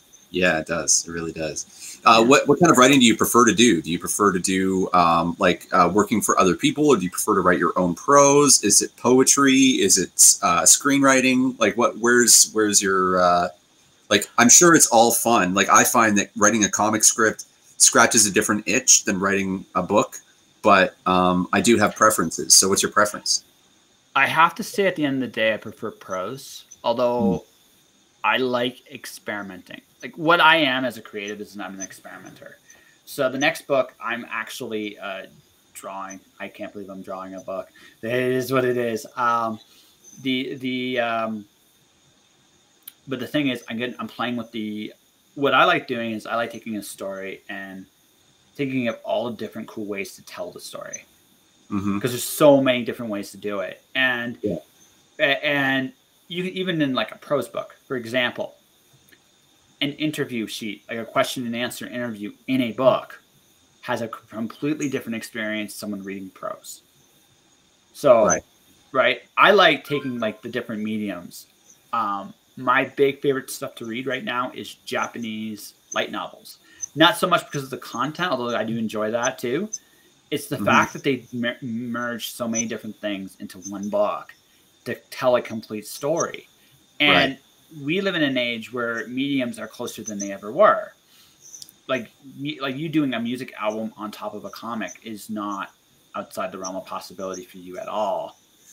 Right? Don't tell everybody my secrets, man right? But coming but in 2022. but but but but it, it's one of those it's one of those things because you realize that a story could be told in a different way. What I like is right, and every story can be told differently. A music story is different than a comic story, but put them together, they create something even different than what the two, two alone could have achieved. Right. So I like playing in that world. Like what I really, what I really think it is, is so this is the part of me that grew up reading Ray Bradbury was he would like if you had like if you ever read his work, he'd be the guy that would probably grab you by the scruff, like by, by like put his arm around you, have like a drink of like some kind of drink in his hand, drag you to the window, make you look up into the stars and say, "Sir, there's magic out there." And by the time you were done with him, you'd believe it. That's the mm-hmm. impression I've always had of Ray Bradbury. So that's what my stories that's what i want my stories to feel like. Yeah there's I, I, talk about like i stuff that because that's the best stuff. We tend to forget in a world like this that in spite of all this craziness going on right now magic is still happening all around us. Like i think one of the most magical things right now we're talking. Isn't it? I mean like what are the odds of that? Oh man. We're talking across uh, uh like ridiculous distance uh with almost no lag between uh, our our conversation. Other people are tuning into it, and even if you didn't hear it tonight, you can access it anytime you want, mm-hmm. and you can listen to this exact recording word for word. It's not a paraphrase. It's not an oral story that's going to be passed down from generation to generation. It's the exact same thing that we're saying right now in real time that you can access anytime you like. I'm going to listen to this again later. You know what I mean? Like that's we don't realize the fact that we can do that. Mm-hmm. that is magic. Yeah. Just because, just because you can say that there's wires and there's satellites and you can look at it and you can like knock on the metal that made it happen, it doesn't make it less magical. You know, this is a conversation that I have with my friends all the time about, you know, um, because I, my novel is about, well, the, you know, it's going to be more than one, but the first one is kind of about dreams, right? And my you know, I have a, I've had a lot of um, what I call religious atheists in my life. Um, you know, and uh, do you know who Alan Watts is? It sounds familiar. That rings a he's bell. A, he's like a spiritual philosopher. So um, he was uh, he was one of the uh, one of the Westerners that brought Zen Buddhism to uh, to North America and to the West in like the 1950s and 60s. And he used to talk about atheists, and the line that he used to describe militant atheists that have to um, that feel the need to uh, um, liberate you from the belief in, in in a divine power is he would say that there is no God and I am his prophet. and, and so I've had a I've, I've had a lot of friends in my life that are like that. And so when you start talking about the the uh, the uh, the magic in the world, which is just sort of the unknown, right? It's the it's the things that can't be fully properly explained dreams is really high up there on the list for me. And when I when I when I would talk about you know like the power of dreams and the magic of dreams, it'd always be well you know it's just your brain is taking information and it's you know getting wires crossed. And when you sleep it's just trying to like recall it. And I'm like yeah but how does the brain do that? And they're like I don't know. I'm like sounds like magic to me bro. You know like just because you can point at the thing that causes it doesn't mean that it still makes sense just in the same way that we know how the, the heart works and we know how to replace parts of it, we still don't understand how that thing forms or how life can form inside the womb and just come out. And somehow the creature that comes out of the womb is the same as the parents, but different enough that it's unique.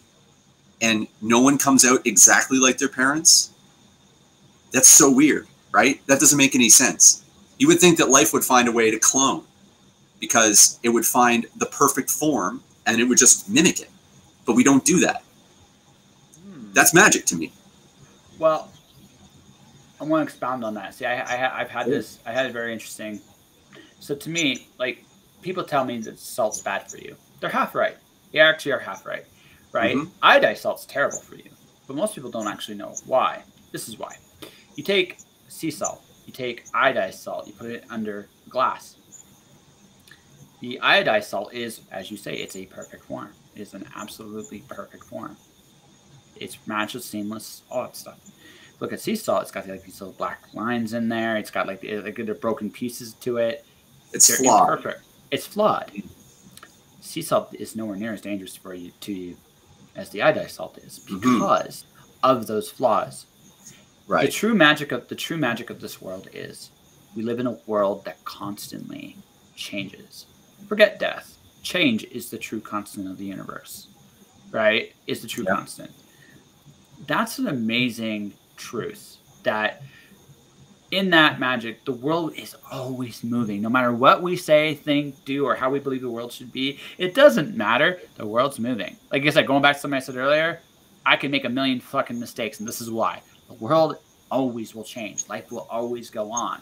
Yeah. That is an amazing, miraculous thing. Yeah. The other thing, the other the other thing too is it isn't just the things we can't explain that has magic. It's even the things we can.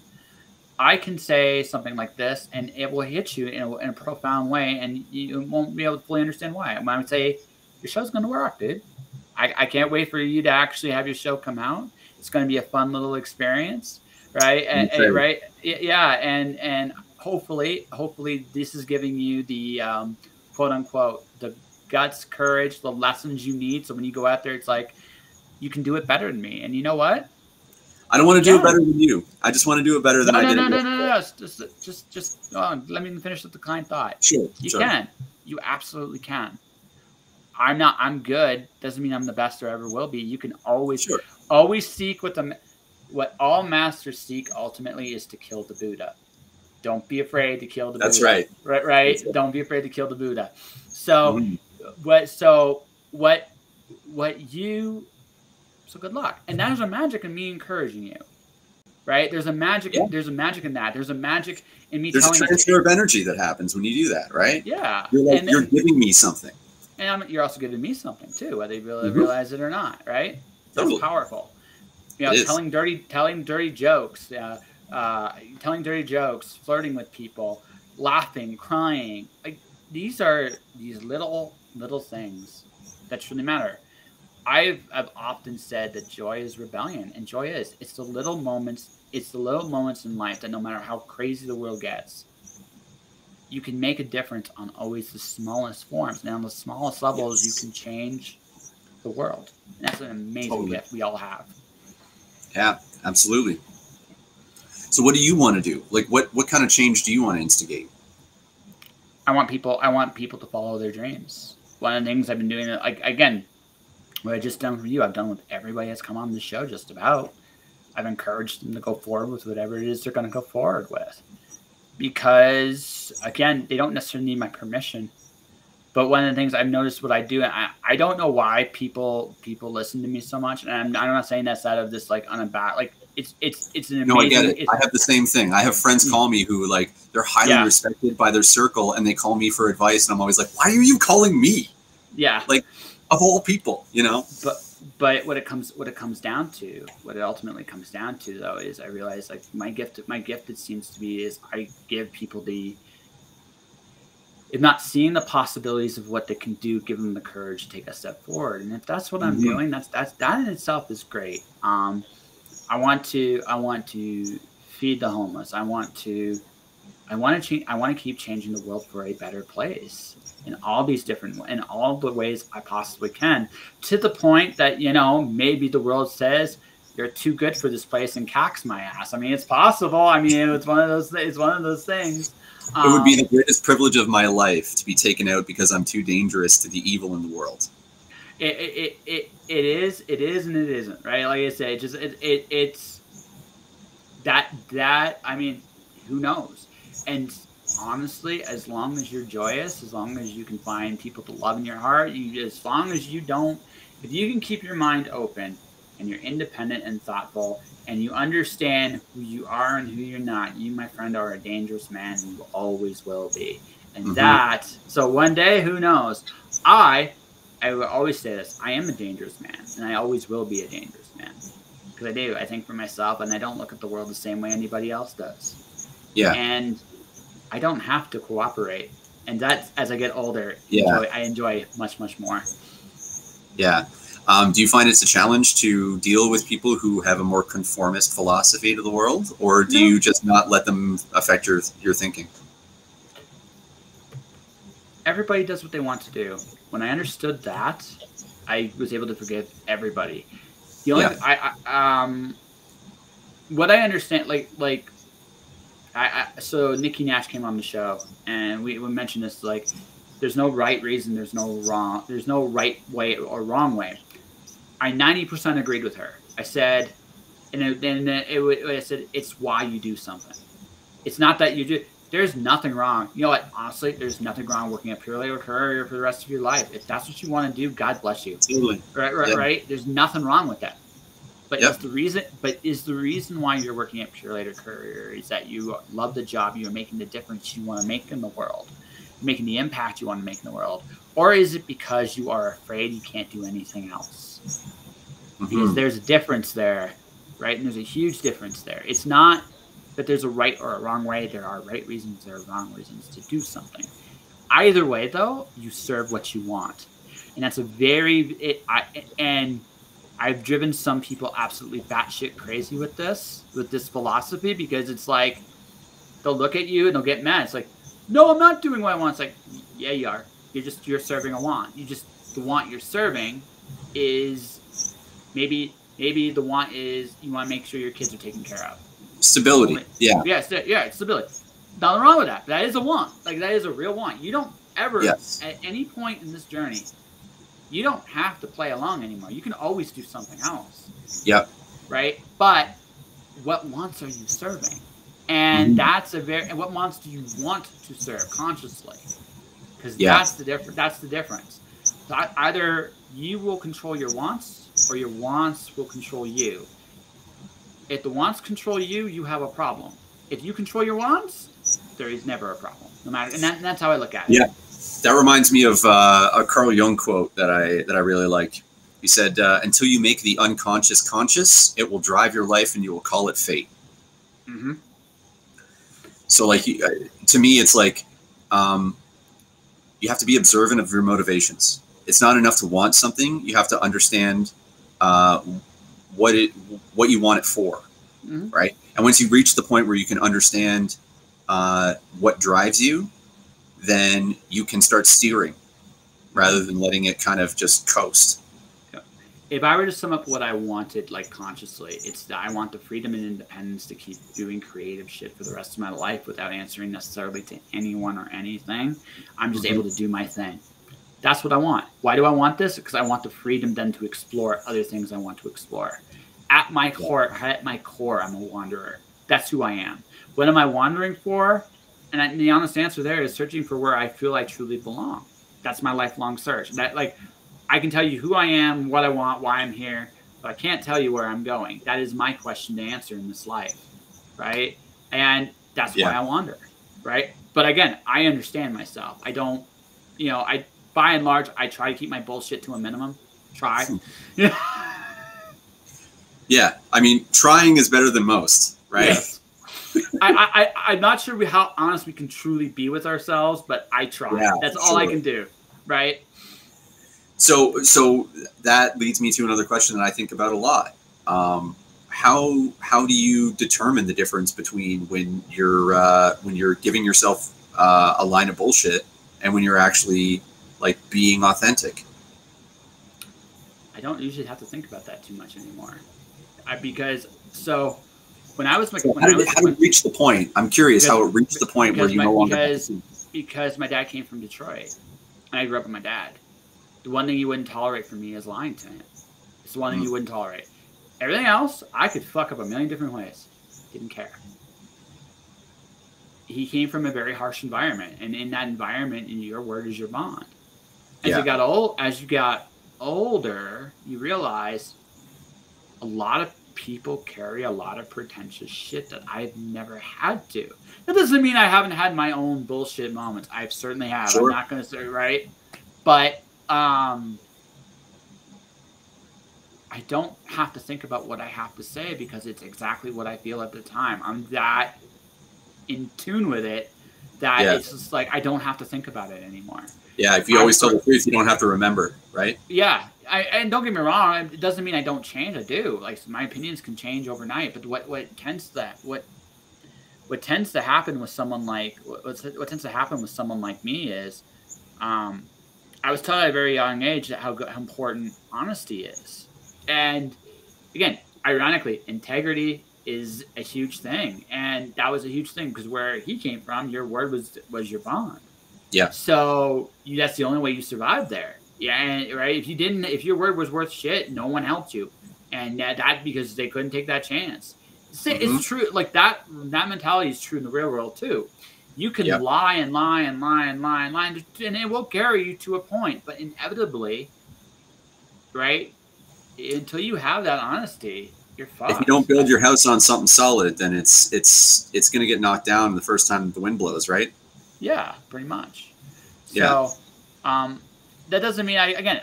I've done some things in this life. I, I, I'm not gonna lie. There's some things like I tried to you try to justify, and then and then but at the end of the day you realize no, I was just a shit, right? Um, So how do you how do you maintain uh, like a um, like a patience with yourself?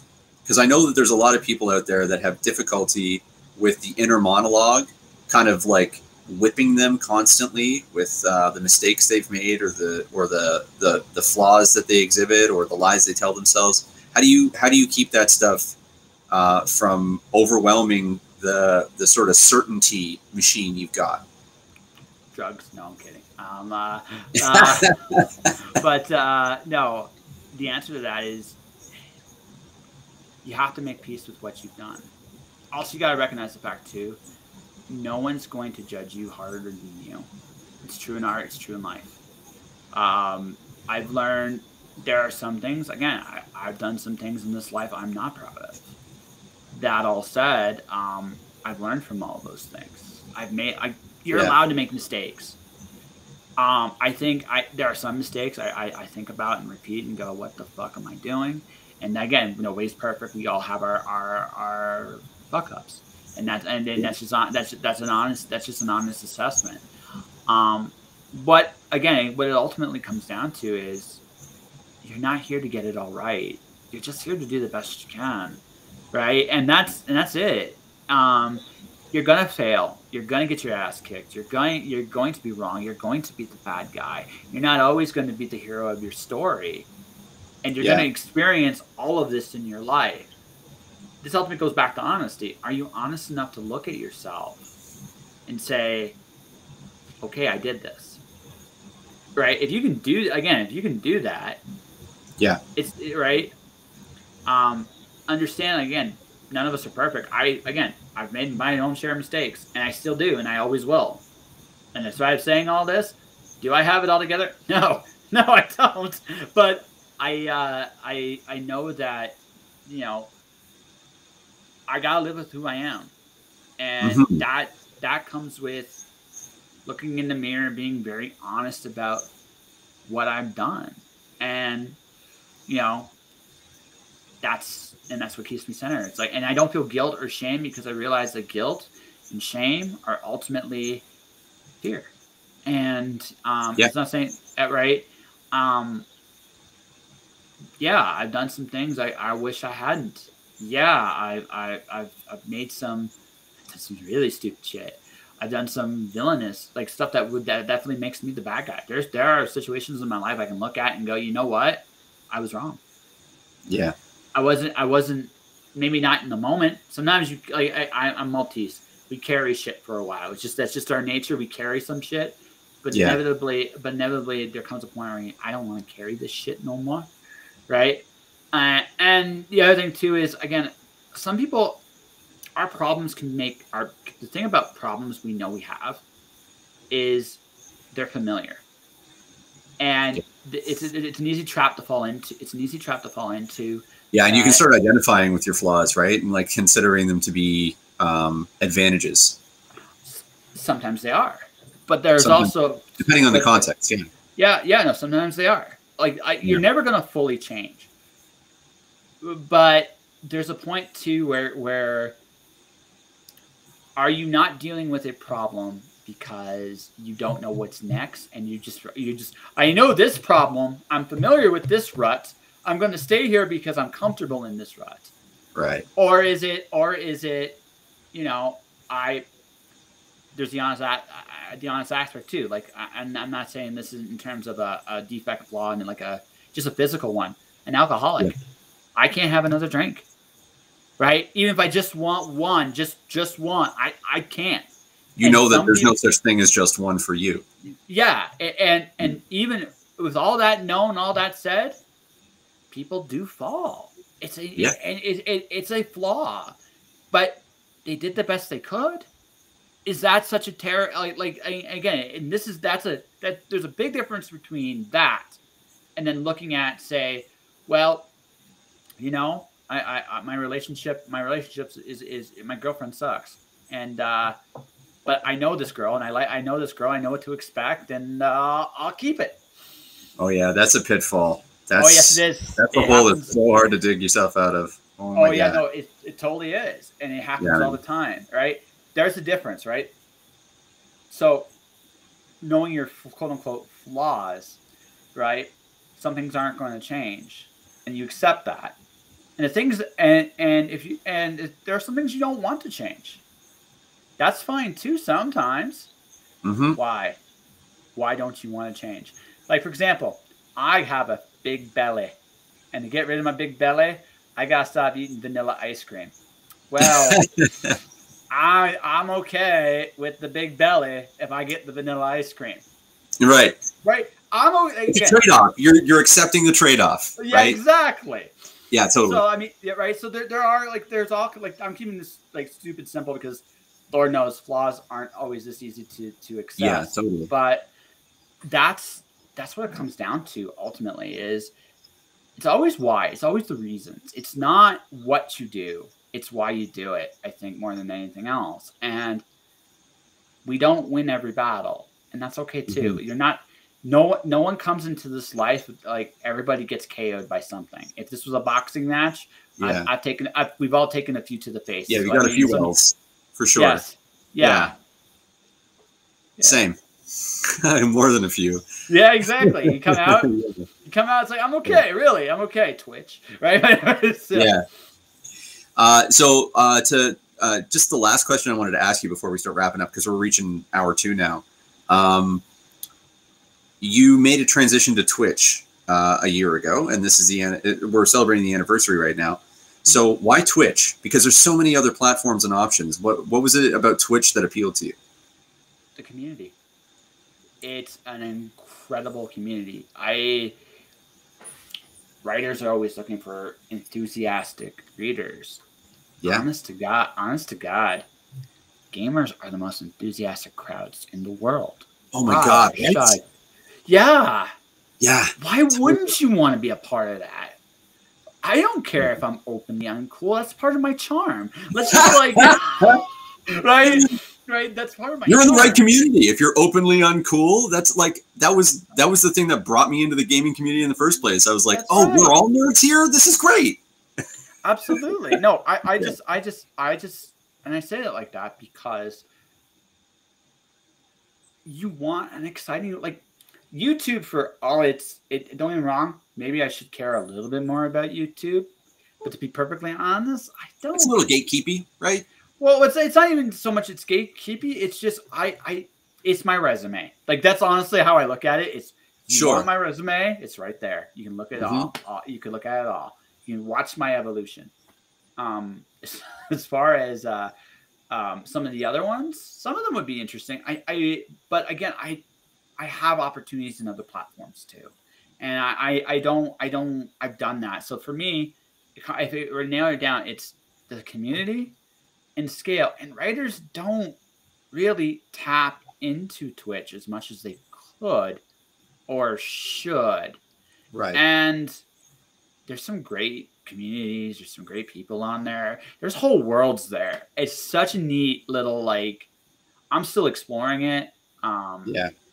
Yeah, last night I was on another stream, like like just just as a as a observer, um, talking music with uh, Nicolina Hearthstone. I was on her stream. We were just talking. I was talking about she's, she's putting out some of her music, and what I usually do is again I I, I encouraged I just encouraged it because that, that's my nature. Right. And right, so it's cool they got to do that. And then I go to uh, another one. Her name is Miss Shigatsu. She's a Minecraft builder. Very entertaining person, very fun, free spirit. Hi, Mr. Gatsu. That's just because. And then then I'll go I'll go to another one, always in girl, who plays like these. This is like a horror channel. She plays these games to terrify her on purpose. It's funny, right? Just funny. That's awesome. All right? So you got all the like these are just and I, and I am so skimming on so many different Right. Yeah. That's just the right? scratch of the surface. Yeah. yeah totally. there's there's a lot of great people playing games like it's almost like it's like a better version of a newsletter if you want to be really really frank it's like a better version of a newsletter Cool. the thing about newsletters is I love I don't mind creating content for them, but with everything else I'm doing, it, it it's work. And I have enough work. I go on Twitch and make an ass of myself for two hours. Nobody notices, or everybody notices, depending on how you look at it. And I, I, I Yeah. get to have fun. Like marketing, like like the wrap this up, marketing, freelancing, marketing, writing, art, all of it you build your story whatever that story is you build it you create a cool little place for it and you invite everybody to come play that's that is essentially it in a nutshell Mhm. right less business more fun if you can create that story, whatever that story is, whatever that that that environment is, and you can make it fun. So uh, my, oh, I guess last time I talked about, I remember. So my favorite thing I used to do at When Words Collide was it's the easiest panel I ever did every year. It's called a Dr. Seuss off. You want to see grown ass adults read Dr. Seuss in the Valley Girl voice, a Russian voice, uh, do operatic singing, right? It's fun. I encouraged so like what I did is I encouraged fun. Yeah. There's not a soul alive that doesn't want to play. That's human yeah. nature through and through. So what you yeah, do you never outgrow that, right? God no, never. So you find that, bang, you got them, mm-hmm. and you will mm-hmm. have them because of how you made them feel. Right? That's that's it. Like, I, I and and by the way, uh, anyone listening to this or watching this, I'm making this sound so much simpler than it is. totally. Yeah, yeah, right. But sure. but it's like when I say, "Oh yeah, just buy a drum kit and then join a band." It's, it's like whatever, you know. It's, it's like, like, it's so hard. E- no, it's no, like, so yeah, and then once you're in a band, that's when the real work starts, right? So yeah. like, it's not even. Yeah. And that's it. So like one year on Twitch, I have almost 100 followers. It's going slower than I'd like. On the other hand, had I've had a lot of great experiences on Twitch, and there's a whole other community there. Mm-hmm. And I'm slow, right that I'm accessing that nobody else is. Say I become an established household rock star name on Twitch. Well, I, am the Twitch father or something like that in the writing sure. community now, right? Yeah. And that's why. That's why. Like, although I, I am posting this one on Facebook too tonight, it's also why I generally just focus on Twitch because Facebook is meh, right?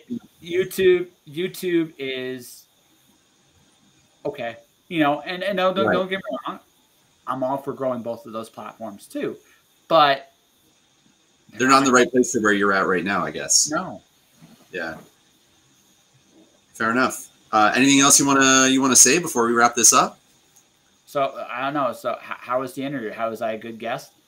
I think yeah, I think this was great. Personally, I had a I, I enjoyed it thoroughly. Uh, I don't know how how well our COVID conversation is going to go over with the general public, but who gives a shit, right? Like, I mean, that's the point I, of it. I, I, I legitimately don't. It's it's one of yeah. those things. And honestly, I, I, think that I think that discussions like this are what's necessary if we're going to start making sense of these things. If we keep hammering home the same message without any sort of nuance or without any sort of alternative uh, opinions, eventually you know, this is something that I, uh, yeah, maybe I'll wrap up with this. Um, this is something I learned when I was in culinary. So I was a supervisor at a restaurant. It was the first time I had actually been like in a position of responsibility.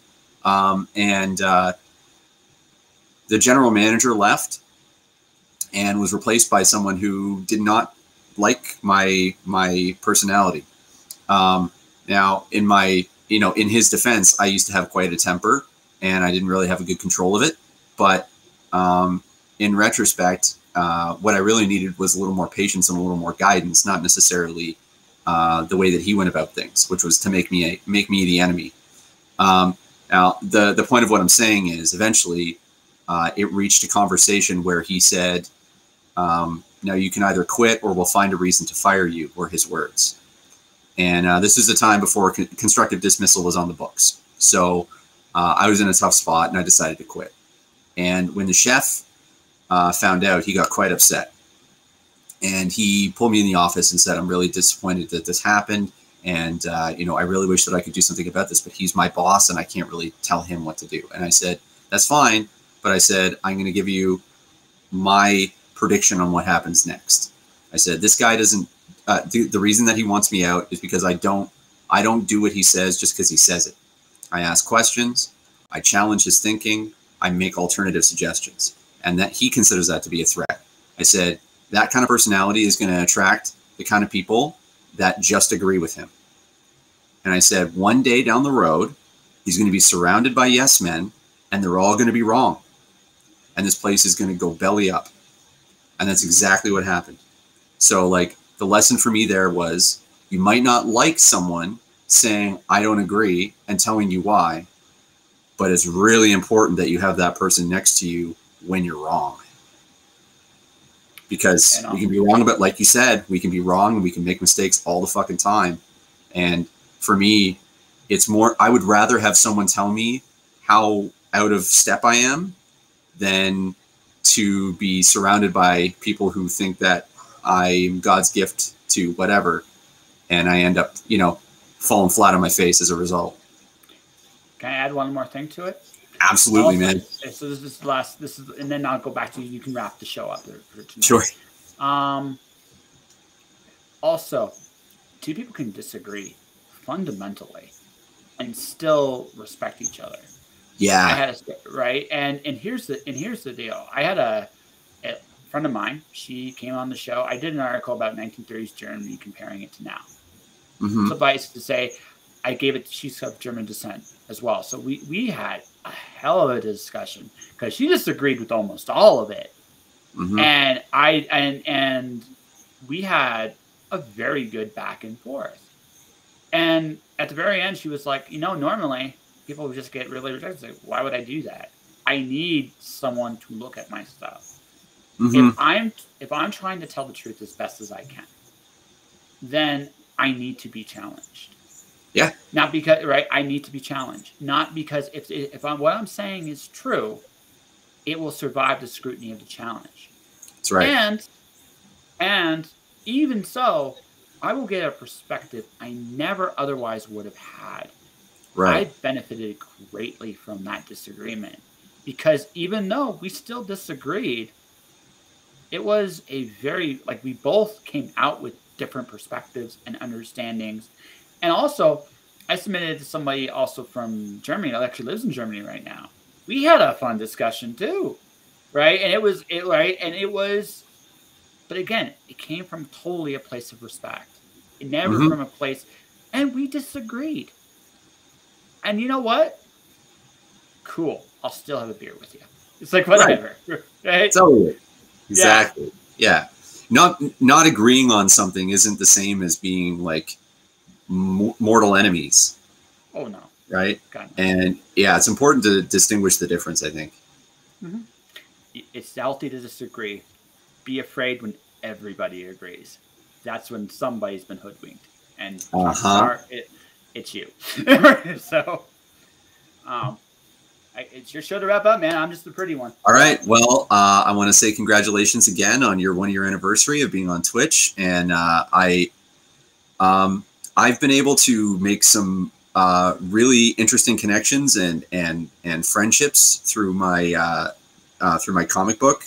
And uh, you were the first podcast I did, and you were uh, integral in in uh, getting my campaign off the ground because I was an unknown, a legitimate unknown when I first started doing this, and I will always uh, be grateful for for your help in in making me a writer professionally. So whatever whatever future I have, whatever trajectory I end up taking in my life, um, you are in part responsible. So it's all your fault. You're, you're welcome. all right. And thanks for having me, man. This is a blast. I really enjoyed this conversation. My pleasure. Uh, thanks for doing it. And like I said, when you do your show, let me know, and I'll have to come back up there and do oh, it official. Yes, hundred percent. Well, folks, that's tonight. Tomorrow, I'm just going to check the guests here list here. Leanne, Kathleen, and Gino is my guest tomorrow night. Wow, so she's fantastic. Oh, that'll be it'll be fun. I think I think I made a fan of her. I'm not sure, but I think I did already. But we'll, we'll find out when she comes on the show. Nice. All right, guys. Stay inspired. Keep shining in the dark. I will see you guys tomorrow night as we start year two of Twitch. Take care, guys.